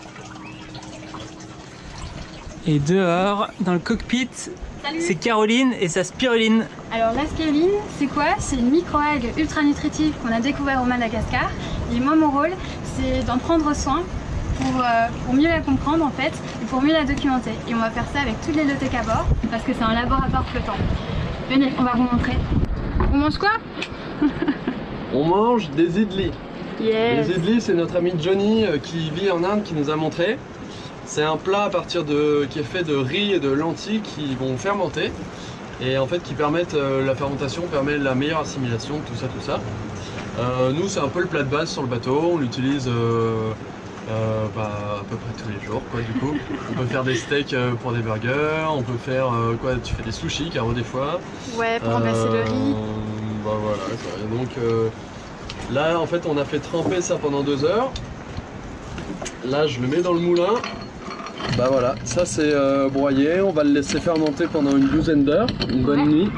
Et après on le mettra au four solaire pour que ça cuise. Sublime Tout simplement les amis. Alors je vous présente notre four solaire. Hop, c'est super pratique. On l'installe sur le haut du bateau et on peut cuisiner avec euh, tous les jours. Hop, on peut faire des gâteaux, bouillir de l'eau et ici c'est des petits légumes. Ça monte jusqu'à 120 degrés. Et ce qui est super, c'est que ça utilise une énergie qui est abondante, qui est gratuite, et ça demande juste de s'organiser un peu différemment. Alors euh, ça c'est notre système de culture de plantes. C'est de l'hydroponie, c'est-à-dire que les plantes, elles euh, grandissent dans des billes d'argile comme ça, il n'y a pas de terre. Et c'est un système qui consomme 10 fois moins d'eau que de la culture en terre et qui permet de faire pousser des plantes, même en milieu urbain ou sur euh, un bateau. Et alors le système original, c'est que là où c'est original, c'est qu'il y a de l'eau qui circule euh, à, travers, les billes d'argile pour nourrir les racines des plantes. Et dans cette eau, on mélange les eaux grises du bateau. Et ces eaux grises, elles retombent dans un bac dans lequel il y a d'autres billes d'argile qui hébergent des bactéries. Et ces bactéries transforment les eaux grises en nutriments pour les plantes. Donc l'eau, elle circule en circuit fermé dans les plantes, sur les racines, pour transformer euh, les eaux grises en nutriments pour les plantes et les plantes les mangent au fur et à mesure. C'est génial. Alors ça c'est notre élevage de grillons comestibles. Ça peut paraître euh, bizarre mais euh, il y a beaucoup de gens qui en mangent dans le monde, notamment euh, au Cambodge. Moi quand je vivais là-bas, on prenait ça pour l'apéro. C'est super bon. Et c'est facile à élever, ça demande très peu, très peu de nourriture. On leur donne des restes de maïs, un peu de plantes qu'il y a dans l'hydroponie. et puis en plus ça chante. Et ça nous permet d'avoir notre apport en protéines. Vous voulez les voir? Moi, un des aspects des low-tech en fait, qui m'a vraiment beaucoup plu en tant que jeune ingénieur qui sortait de l'école, c'est vraiment cette reconnexion au faire, aux pratiques, en fait, à, pouvoir comprendre avec les mains. Euh, parce que en fait, j'étais vraiment frustré en sortant d'école. On avait vu de la, théorie finalement de plein de choses. Euh, et pourtant, j'avais l'impression de, rien comprendre, de ne pas pouvoir euh, en fait pour moi, les, un peu le problème de high-tech, c'est vraiment qu'on a été coupé de la technologie complètement. On est face à des boîtes noires qu'en fait on ne peut plus vraiment comprendre ni réparer. Et, euh, et finalement, avec les low-tech, c'est tout l'inverse. C'est qu'il faut apprendre par soi-même. Donc on apprend à la fois un peu d'électricité, un peu de biologie, un peu de... euh, bah, Qu'est-ce qu'on a pu faire d'autre? De cycle de l'eau, enfin purification de l'eau et tout ça. Et finalement, j'ai l'impression de retrouver beaucoup d'autonomie, de, résilience. Et puis de... Enfin en fait, moi, ça, ça a beaucoup de joie de vivre en fait, juste en comprenant euh, bah, tous ces phénomènes et comment ils fonctionnent et comment moi je peux me les approprier. Et, euh, et alors moi je trouve qu'un des points importants d'Elotech c'est ça, c'est montrer qu'au quotidien, euh, déjà c'est une grosse source de satisfaction. Et puis de montrer que finalement c'est pas comme des fois on veut nous le présenter dès qu'il y a des débats sur la technologie. Euh, c'est pas un retour en arrière, c'est pas un retour à la bougie, c'est pas euh, une décroissance, c'est en fait aller vers une optimisation, enfin une innovation dans une sobriété optimisée, on va dire. Euh, c'est quelque chose pour moi qui est hyper réjouissant parce qu'on se reconnecte, en faisant ça, on se reconnecte aussi au vivant. On est obligé de comprendre bah, tous les, mécanismes du monde vivant qui nous entoure et puis ça permet de se reconnecter aux autres aussi parce que euh, c'est des compétences qu'on ne peut pas euh, tous maîtriser. Mais euh, du coup, ça veut dire que moi, tel que je l'imagine dans le futur, il y aurait des gens un peu spécialistes ou qui montraient des, entreprises, par exemple, de, bah, recollection des, déchets organiques dans les villes, d'autres qui seraient plus sur l'alimentation, mais tout à échelle locale en fait. Et donc du coup, d'une pour l'économie, bon, voilà, ça, ça oblige à avoir toutes ces compétences et savoir-faire de manière locale. Et puis en fait, euh, ça permet aussi bah, de, reconnecter, de recréer du tissu euh, social avec euh, bah, les, les en- les gens qui finalement nous entourent. Je vous présente la première planche de surf qui a été réparée avec du matériau de champignons. Si vous voulez, pour la petite histoire, on a récupéré cette planche qui était bien abîmée à ce niveau-ci, à Puerto Escondido. Et en fait, euh, la- le polystyrène était apparent et la résine était éclatée. Du coup, ce qu'on a fait, c'est on a enlevé toute la partie abîmée et on l'a remplacée par des plaques de matériaux champignons qu'on a fait pousser au préalable sur le bateau. Comment t'as fait? Alors, super facile. Donc, on a récupéré du mycélium. Donc, le mycélium, c'est la partie blanche qu'on voit ici, euh, qui est la partie racinaire des champignons que l'on mange. Donc, pour la petite histoire, on pourrait comparer les champignons que l'on mange à euh, le fruit en fait du mycélium. Euh, Et alors, comment ça se fabrique ça? Alors euh, simplement, on va récupérer de la sciure de bois, donc c'est de la fibre cellulosique, et du mycélium. On mélange le tout, on le met dans un moule et on laisse pousser pendant 10 jours. C'est super léger, hein? Ouais. Alors euh, ouais, en fait, ce qui est génial avec le mycélium, c'est qu'on peut avoir des propriétés mécaniques différentes selon les besoins euh, des objets qu'on va utiliser. Et euh, par exemple, là, il me fallait quelque chose d'assez léger pour la planche de surf et de assez rigide. Du coup, on a utilisé du mycélium de Ganoderma. Donc ça, c'est le fruit du champignon, du mycélium, pardon, et euh, de la sciure de bois qui est assez légère. Alors, euh, on peut utiliser aussi euh, d'autres mycéliums, d'autres substrats pour faire d'autres objets, par exemple pour faire de l'isolation acoustique ou thermique. Il y en a aussi qui font du packaging avec ça pour remplacer le, le polystyrène. Et c'est biodégradable? C'est biodégradable, évi- évidemment. Prochaine étape? Alors, euh, alors nous, on a juste testé euh, sur la planche de surf. Euh, donc on- moi, je savais pas trop comment la résine allait, réagir, etc. Et puis avec l'eau, etc. Et en fait, on s'est rendu compte que ça fonctionnait super bien. Donc euh, bah, plus tard, on souhaite euh, pouvoir faire une planche de surf euh, 100% en matériaux de champignons. Alors moi, mon escale favorite, ça a été à San Francisco. On a eu le plaisir d'aller au Countercurtain Lab, qui est un, un biolab en fait. Donc c'est un espace qui a été aménagé dans un vieux bâtiment.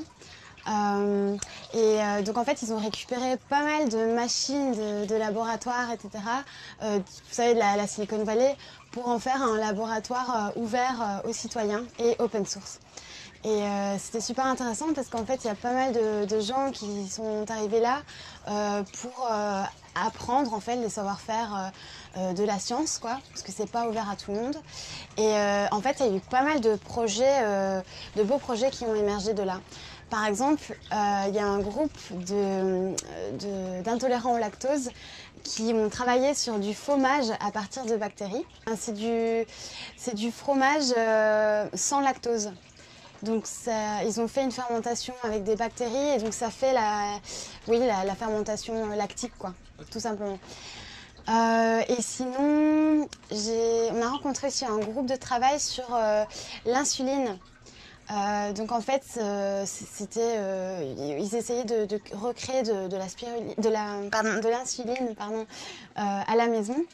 Et ce qui est pas plus mal, ben, vu le niveau de sécurité sociale aux États-Unis, c'est trop cher pour pas mal de gens. C'est ça. Ils n'ont pas accès à l'insuline et donc là, ils ont fait un travail dessus et, euh, ils, y sont presque finalement. Donc, euh, et voilà, vu qu'ils ont une démarche open source et collaborative, eh il y a pas mal de gens qui travaillent dessus et euh, en fait, l'innovation, va beaucoup plus vite. Nomade des mers, c'est de continuer notre quête des innovations low-tech à travers le monde pour rejoindre la France pendant encore un an et demi.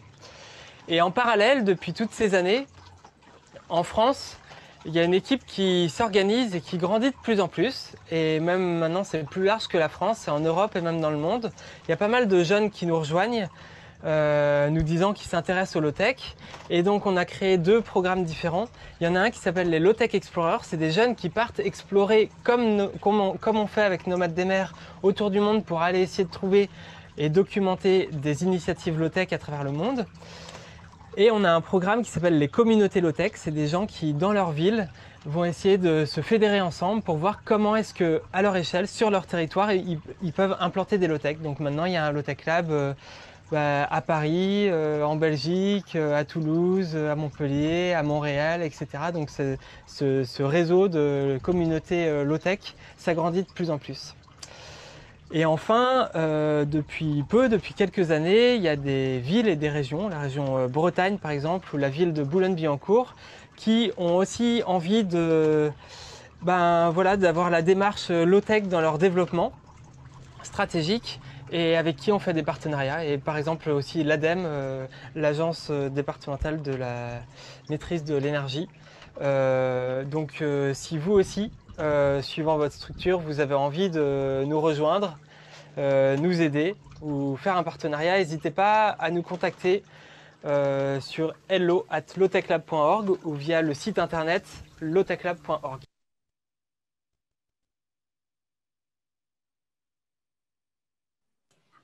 Et voilà, c'est ici euh, que se clôture, euh, bah, malheureusement sur une vidéo, mais, euh, mais voilà, donc avec cette, cette contribution en tout cas de Nomade des mers qui, qui, aurait voulu hein, être présent ce soir et avec qui on reste en contact, notamment ben, que ce soit ici au Fab Lab du TRAC, mais que ce soit aussi au RILAB, que ce soit justement via Jonathan et ces initiatives qui vont continuer à croître. Donc si ça vous intéresse de près ou de loin, n'hésitez pas, voilà, n'hésitez pas à, à nous en faire part. Je crois qu'on arrivera à remonter le projet de l'expo et de tout le reste euh, en novembre prochain entre le, Fab, le, Relab, euh, peut-être le Kik et, et, toute la galaxie euh, dans laquelle on a Exactement. Et, et, effectivement, et donc si ça vous intéresse aussi de contribuer à ces initiatives de redesign de l'OTEC, effectivement, des projets vont arriver et on s'en fera les premiers euh, voilà, les premiers euh, euh, communicateurs, en tout cas, et les premiers acteurs. Donc, n'hésitez pas à continuer à suivre. Je propose. Donc, je vois qu'il y a eu plusieurs questions et réponses. alors, je propose de travailler de deux manières. On va reprendre les questions qui sont dans les chats. Et puis, on va aussi, n'hésitez pas à lever la main. En fait, vous pouvez lever la main. Et alors, je vous donne la parole. Et comme ça, vous pouvez les poser éventuellement oralement. Euh, voilà, je propose qu'on tienne un petit quart d'heure. Malheureusement, on dépasse un tout petit peu l'horaire, mais un petit quart d'heure de questions-réponses. Et comme ça, vers 21h15, euh, on peut vaquer à nos autres obligations ou aller se servir un, second verre. Euh, alors, j'ai une question qui est posée, à mon avis, à Alan, mais sans doute pas que, qui demande des exemples concrets de nouvelles compétences acquises, Alan, via la puce. Ah oui, donc la première, euh, donc moi j'ai porté euh, le Nerd Sense pendant 18 euh, mois, dont 3 avec, donc je l'ai porté pendant 15 mois. alors il y a définitivement une meilleure, donc une capacité à mieux naviguer dans l'espace, donc une capacité à se retrouver dans l'espace beaucoup plus, beaucoup plus clair qu'avant. des souvenirs plus riches, en tout cas rien qu'avec le, sens, donc rien qu'avec un, une vibration sur, sur, sur le nord magnétique. Tout, ça, tout ça survient. Une meilleure mémoire et surtout par exemple, quelque chose que je ne faisais pas avant, j'ai commencé à sauter en parachute. Et euh, la première fois que j'ai sauté avec le NordSense, eh bien, dans l'avion, j'étais un peu angoissé à l'idée d'être face. face euh, en fait, on doit sauter à un certain endroit et on doit se retrouver face contre, face contre vent. D'accord?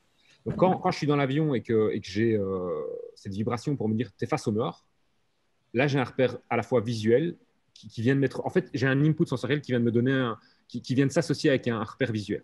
Et c'est vraiment très efficace, en fait, parce que ce sont des influx sensoriels. Donc, ça rentre, en fait. La difficulté serait de dire à partir de quand tu penses que le processus est devenu inconscient? Vous savez tous euh, conduire en voiture, ou en tout cas pour la plupart, vous savez plus m'expliquer comment vous roulez à vélo ou vous roulez en voiture en fait. C'est vraiment compliqué de savoir mais comment tu sais rouler à vélo, explique. Aucune idée, euh, je, sais rouler. Donc c'est un peu le problème, c'est-à-dire qu'il y a un moment, je pense que les choses deviennent euh, innées. Et là, là, là, voilà, je ne sais pas faire la différence. Merci. Je, vois qu'il y a aussi une question pour Jonathan, alors qui est un peu liée, donc qui, pose la question de savoir pourquoi euh, avons-nous besoin de s'ajouter des capteurs moins performants que le cerveau euh, pour pouvoir le réparer? Est-ce qu'on ne devrait pas aussi passer plus de temps à mieux comprendre le cerveau humain, mieux apprendre à se connaître? Euh, Alors, je pense que tu as déjà donné des éléments de réponse. Je pense que ça la croisée. Enfin, allez-y. Hein. Je ne sais pas, c'est peut-être parce que les capteurs sont plus faciles à comprendre que notre cerveau et que ça prend moins de temps de développer des capteurs qui augmentent notre cerveau que de définitivement maîtriser tout ce que notre cerveau peut nous, nous, donner comme compétences. Non, je pense qu'en effet, il y a, y a de ça, mais moi, je trouve ça vraiment fascinant de voir comment, comment on arrive à articuler euh, ces, ces, technologies avec notre cerveau et de se dire que finalement, la technologie la plus développée là-dedans, c'est quand même notre cerveau. Donc, mhm. c'est vrai que l'enjeu, c'est finalement de connaître notre cerveau euh, mieux. Et peut-être que finalement, euh, enfin, je veux dire, Alan, ici, euh, je veux dire, avec cette puce et avec cette augmentation, euh, il connaît mieux son corps. Euh, quand il aura enlevé cette puce, je suis sûr qu'il y aura cette espèce de fantôme de la puce qui lui aura intégré ce sens-là de, de, la reconnaissance d'une norme magnétique. Ah, ça existe. Il la, connaîtra. Il n'a plus besoin de la puce et je suis sûr qu'il n'en a même plus besoin. vous, avez déjà, vous avez déjà ressenti le, fait que votre smartphone vibre dans votre poche alors que finalement vous touchez votre poche et il n'est pas dedans. Ben, euh, oui, effectivement, il y a des moments où j'avais pas le, nord, le Nord sur moi et ça vibrait et j'étais juste face au nord et mon cerveau avait intégré finalement. Donc, c'est un peu comme l'illusion optique. Ça veut dire que votre cerveau est obligé de, centraliser l'input sensoriel pour formuler quelque chose qui est cohérent dans, l'esprit. Et donc, il vit en décalage, c'est-à-dire que le son arrive plus lentement que l'image. Donc, euh, vous, vivez en permanence dans le passé en réalité. Uh, et en parle vraiment très très bien. Il a une série sur HBO qui s'appelle Brain. effectivement, il n'y a rien à faire. C'est ici la dynamique, c'est pas de, Moi, je suis pas transhumaniste, donc je, tiens vraiment à faire la différence. Pour moi, le fait de vouloir euh, éviter de mourir à tout prix, ça n'a aucun sens. Le simple fait d'être vivant, c'est d'avoir peur de mourir. Ce qui, vous, fait sentir vivant, c'est la peur de la mort. Et la, mort, à mon sens, est une. On va pas rentrer dans, le spirituel, mais ce que, je veux dire, c'est que de tout temps, l'être humain a cherché à accéder à un champ d'information qui n'était pas accessible. C'est pour ça que les états, de de modifiés de conscience permettent d'accéder à des informations euh, auxquelles on n'a pas accès euh, habituellement. Euh, Stephen Laurie, qui est neurologue et, centre, et, je crois qu'il est, directeur du centre de recherche sur... j'ai oublié le nom du, projet, mais Stephen Laurie, qui est neurologue à Liège, travaille avec Corinne Sombrin qui est une chamane en fait. Elle, a, euh, utilise le, tambour euh, chamanique pour, pour, rentrer dans des états qui sont étudiés aujourd'hui euh, par la science. Donc on voit sous imagerie médicale que son cerveau, toutes les connexions cérébrales de son cerveau sont, sont, sont actives et donc on voit aussi que ces états de modifiés de conscience peuvent avoir un réel effet de reset sur le cerveau et donc de désapprentissage des choses qui ont été apprises par la répétition encore et encore. Donc c'est très compliqué. On, voit souvent chez les gens qu'il y a un déclic qui se fait lorsque des, expériences très traumatiques apparaissent, comme un burn-out, comme un, décès. Et on voit que là, on a un reset des structures neuro, neurocérébrales. Et donc, les schémas de pensée qui, sont câblés en permanence selon une routine quotidienne changent, en fait. Il y, a, des éléments qui viennent, qui viennent perturber cette, cette, connexion. Et je pense que les états modifiés de conscience sont la gateway, sont, la porte, le portail au champ de conscience, au champ d'information auquel on n'a pas accès en étant, en étant dans un... oui, dans un état de conscience normal en réalité. La musique est un état de conscience modifié. Vous écoutez une musique et soudainement, elle vous, elle vous énergise, vous avez envie de danser, vous avez envie d'embrasser votre, votre, partenaire si c'est un slow, etc. Donc on voit bien qu'en fait, les, sens sont là pour, pour déclencher des informations. Euh, et, c'est là où, pour moi, le transhumanisme n'a aucun intérêt. Merci. Je, rebondis sur une question, euh, mais à mon avis, on y a répondu partiellement, notamment avec Tanguy et Jonathan sur les questions de, l'open source. Mais je vois une grille qui dit euh, la curiosité et l'information sur l'accessibilité de ces technologies sont aussi des variables socio enfin, liées à des variables socio-économiques, malheureusement.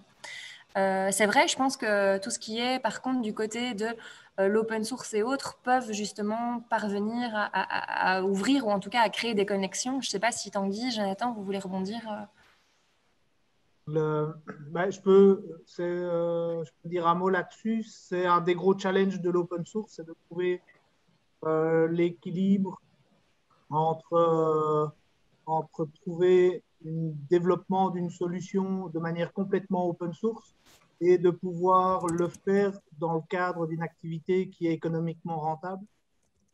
Parce que euh, c'est un, des, euh, des, gros challenges de l'open source. Il y a beaucoup de projets, des projets que j'ai montrés qui sont, euh, qui sont plus des initiatives tout à fait ouvertes, mais complètement indépendantes de, n'importe quelle activité commerciale. Et, qui, qui apportent énormément de choses mais qui sont difficiles à, faire vivre dans le temps de par l'absence d'économie.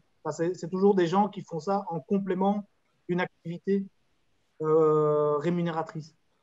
Et c'est une des questions, euh, enfin, dans le lancement de, mes activités, qui m'a toujours euh, interpellé. C'est une question qui reste ouverte maintenant et je ne sais pas exactement comment faire. Il y en a qui, il y a différents business models ou manières de, travailler pour rendre ça économiquement rentable.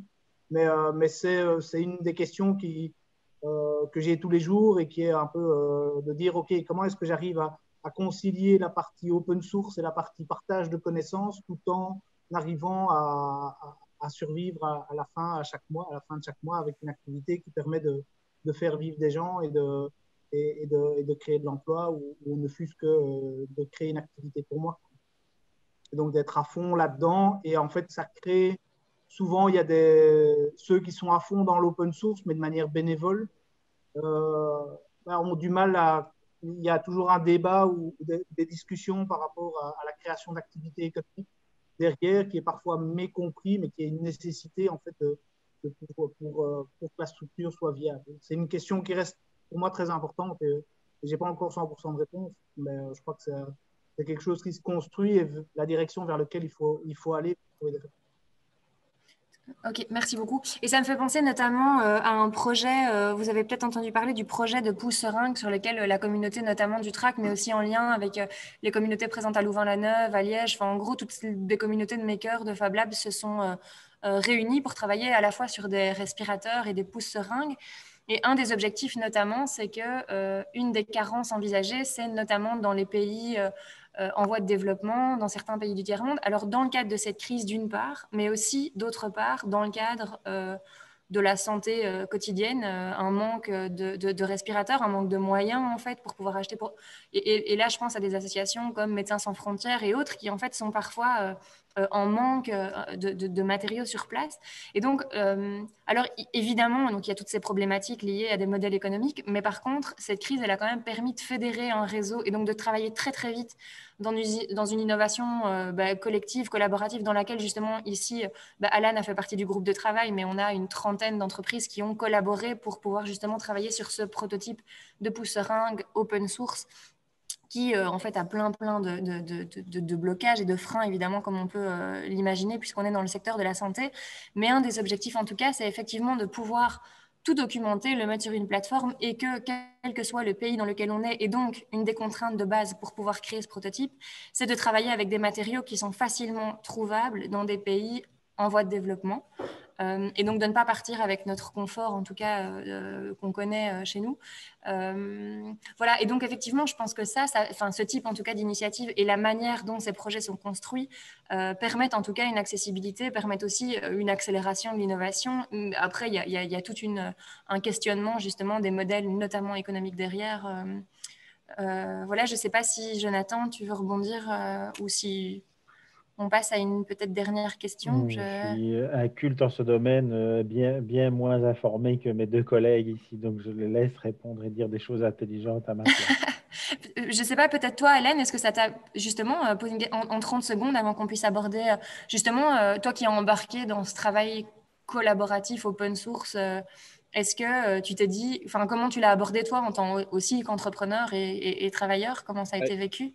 Bon, moi, j'étais euh, en intermission, donc j'avais pas de contrat pendant la période, donc j'ai pu. On a, on a avancé comme des fous extrêmement vite. Les gens ont, cherché le, cutter laser, ils les ont mis dans leur. Jean-Yves l'a mis dans son, dans son garage. Enfin, je veux dire, tout a été organisé. Personne ne s'est posé de questions, qui, que, quoi, quand, comment. Tout le monde a foncé. Et moi, personnellement, bah, j'ai appris énormément, mais j'ai réutilisé plus dans un autre projet d'entreprise. Et donc, il a été recyclé immédiatement. Et le pousse-seringue étant fait pour de l'intraveineux, moi essayant de pousser du silicone dans des conduits euh, très larges, euh, ben, ça ne matche pas. Donc je sors quelque chose qui répond au problème du pousse-seringue pour mon problème à moi et je le, sors en open source. Et ce truc peut être utilisé pour sortir des valves cardiaques, euh, des pochettes en silicone. Et donc on voit bien que c'est extrêmement circulaire et ça file à une vitesse mais de fou furieux. Donc toutes les compétences que j'ai retravaillées pendant le, pousse-seringue, elles m'ont été bénéficiables. Donc le savoir-faire, le know-how finalement a été réutilisé, réintégré complètement dans le reste des projets. Donc, c'est euh, fatigant parce qu'on ne sait pas où on va. Euh, on est en pleine crise, tout le monde court. Euh, ensuite, ça doit se structurer et donc ça, devient vite fatigant. Donc, je, rejoins aussi l'open les, source où ça doit aller vite, où on doit prototyper vite et on n'a pas le temps de s'occuper du détail, c'est-à-dire du design pendant ce temps-là. Et ça reste parfois à l'état de Ah, zut, bah, c'est dans les cartons, c'est dans les projets, mais voilà. Donc, mais, mais du, d'un niveau individuel, moi, ça m'a, ça m'a aidé, mais euh, quotidiennement. C'était pas gratuit, en fait. Euh, ça, t'a permis d'aller. Hein. Mon intérêt, c'était d'apprendre des nouvelles choses et, et, d'apprendre vite. Quoi.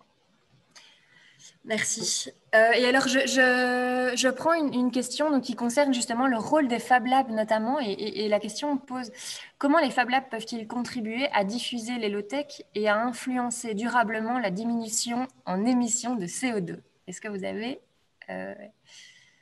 des parties de réponse, des réponses ou pas de réponse ben, Je crois que, euh, je crois que ça rejoint euh, le commentaire de Alan juste maintenant. C'est euh,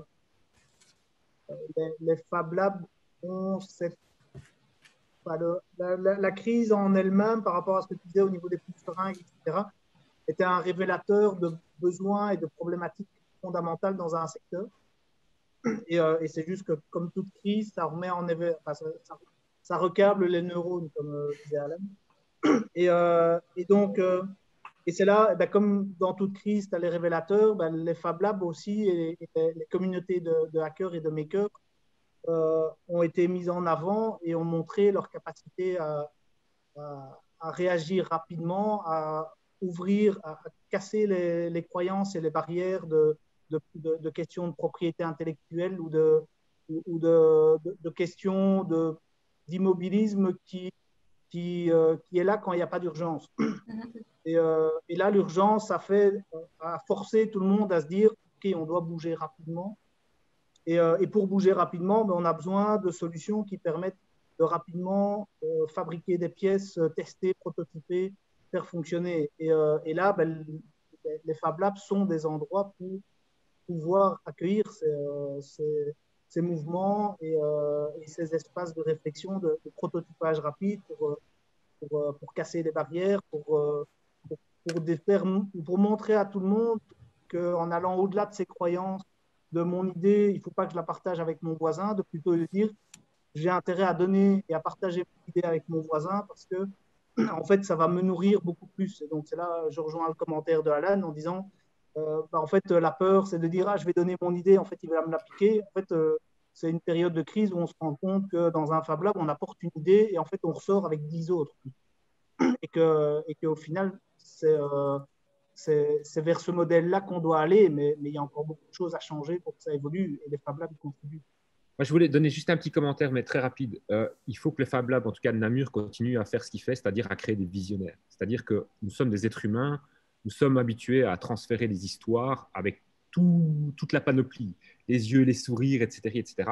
On crée des visionnaires au Fab Lab, c'est-à-dire qu'on on, les fait voir avant de réaliser, et c'est cette étape-là, c'est ce schéma de pensée qui suit chez quelqu'un, et on, arrête avec les « je ne croirai que ce que je verrai ».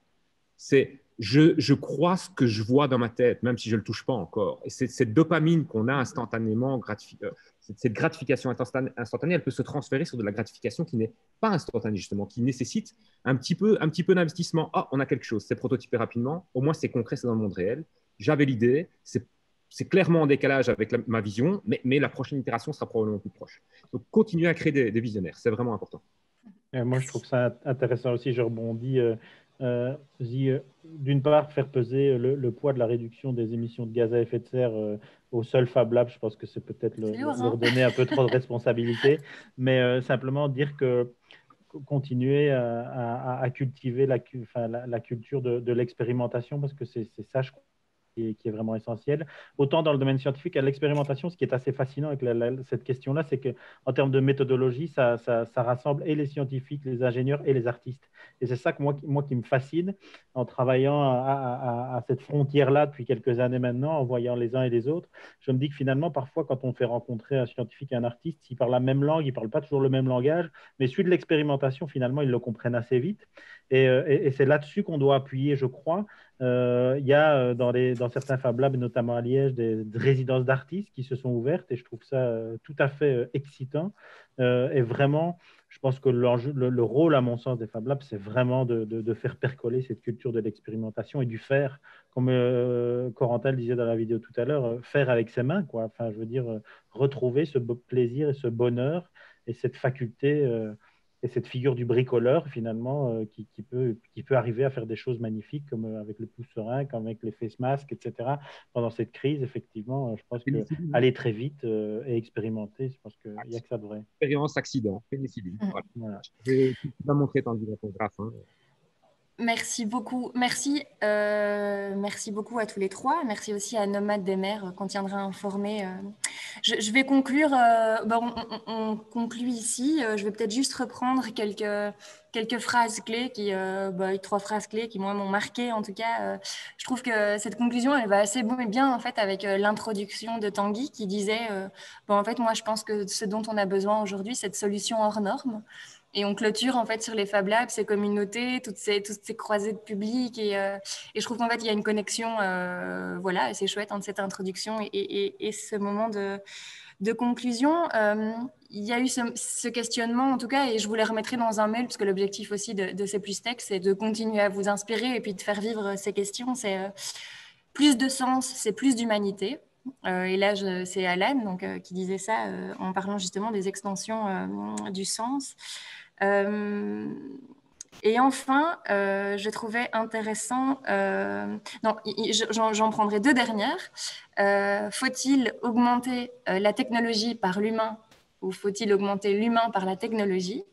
Restera une question en suspens de, cette soirée qui nous a tenus. Et enfin, et là je reprendrai une des phrases de Nomade des mers, je pense qu'on doit aller vers une innovation dans une sobriété optimisée. C'est en tout cas la manière dont il le voit. Euh, voilà, je remercie aussi euh, chacun d'entre vous pour toutes les contributions que vous avez faites à la, conversation dans le webinaire. On va l'enregistrer, on vous la mettra euh, aussi en, annexe du mail, comme ça vous aurez un peu les différentes références et puis je vous remettrai un peu les différents, les différents informations qu'on a données, un peu les, les, webinaires à voir parce que ça a été vite et puis je suis pas sûre que tout le monde ait pu noter. Donc on va vous envoyer ça peut-être pas demain, mais en tout cas rapidement.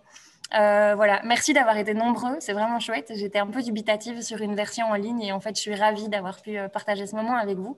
Euh, merci à vous trois et puis surtout de très belles fêtes à chacun et chacune. Et puis 2021, ça va être bien. Bonne soirée tout le monde. Au revoir. Au revoir. Au revoir tout le monde. Au revoir.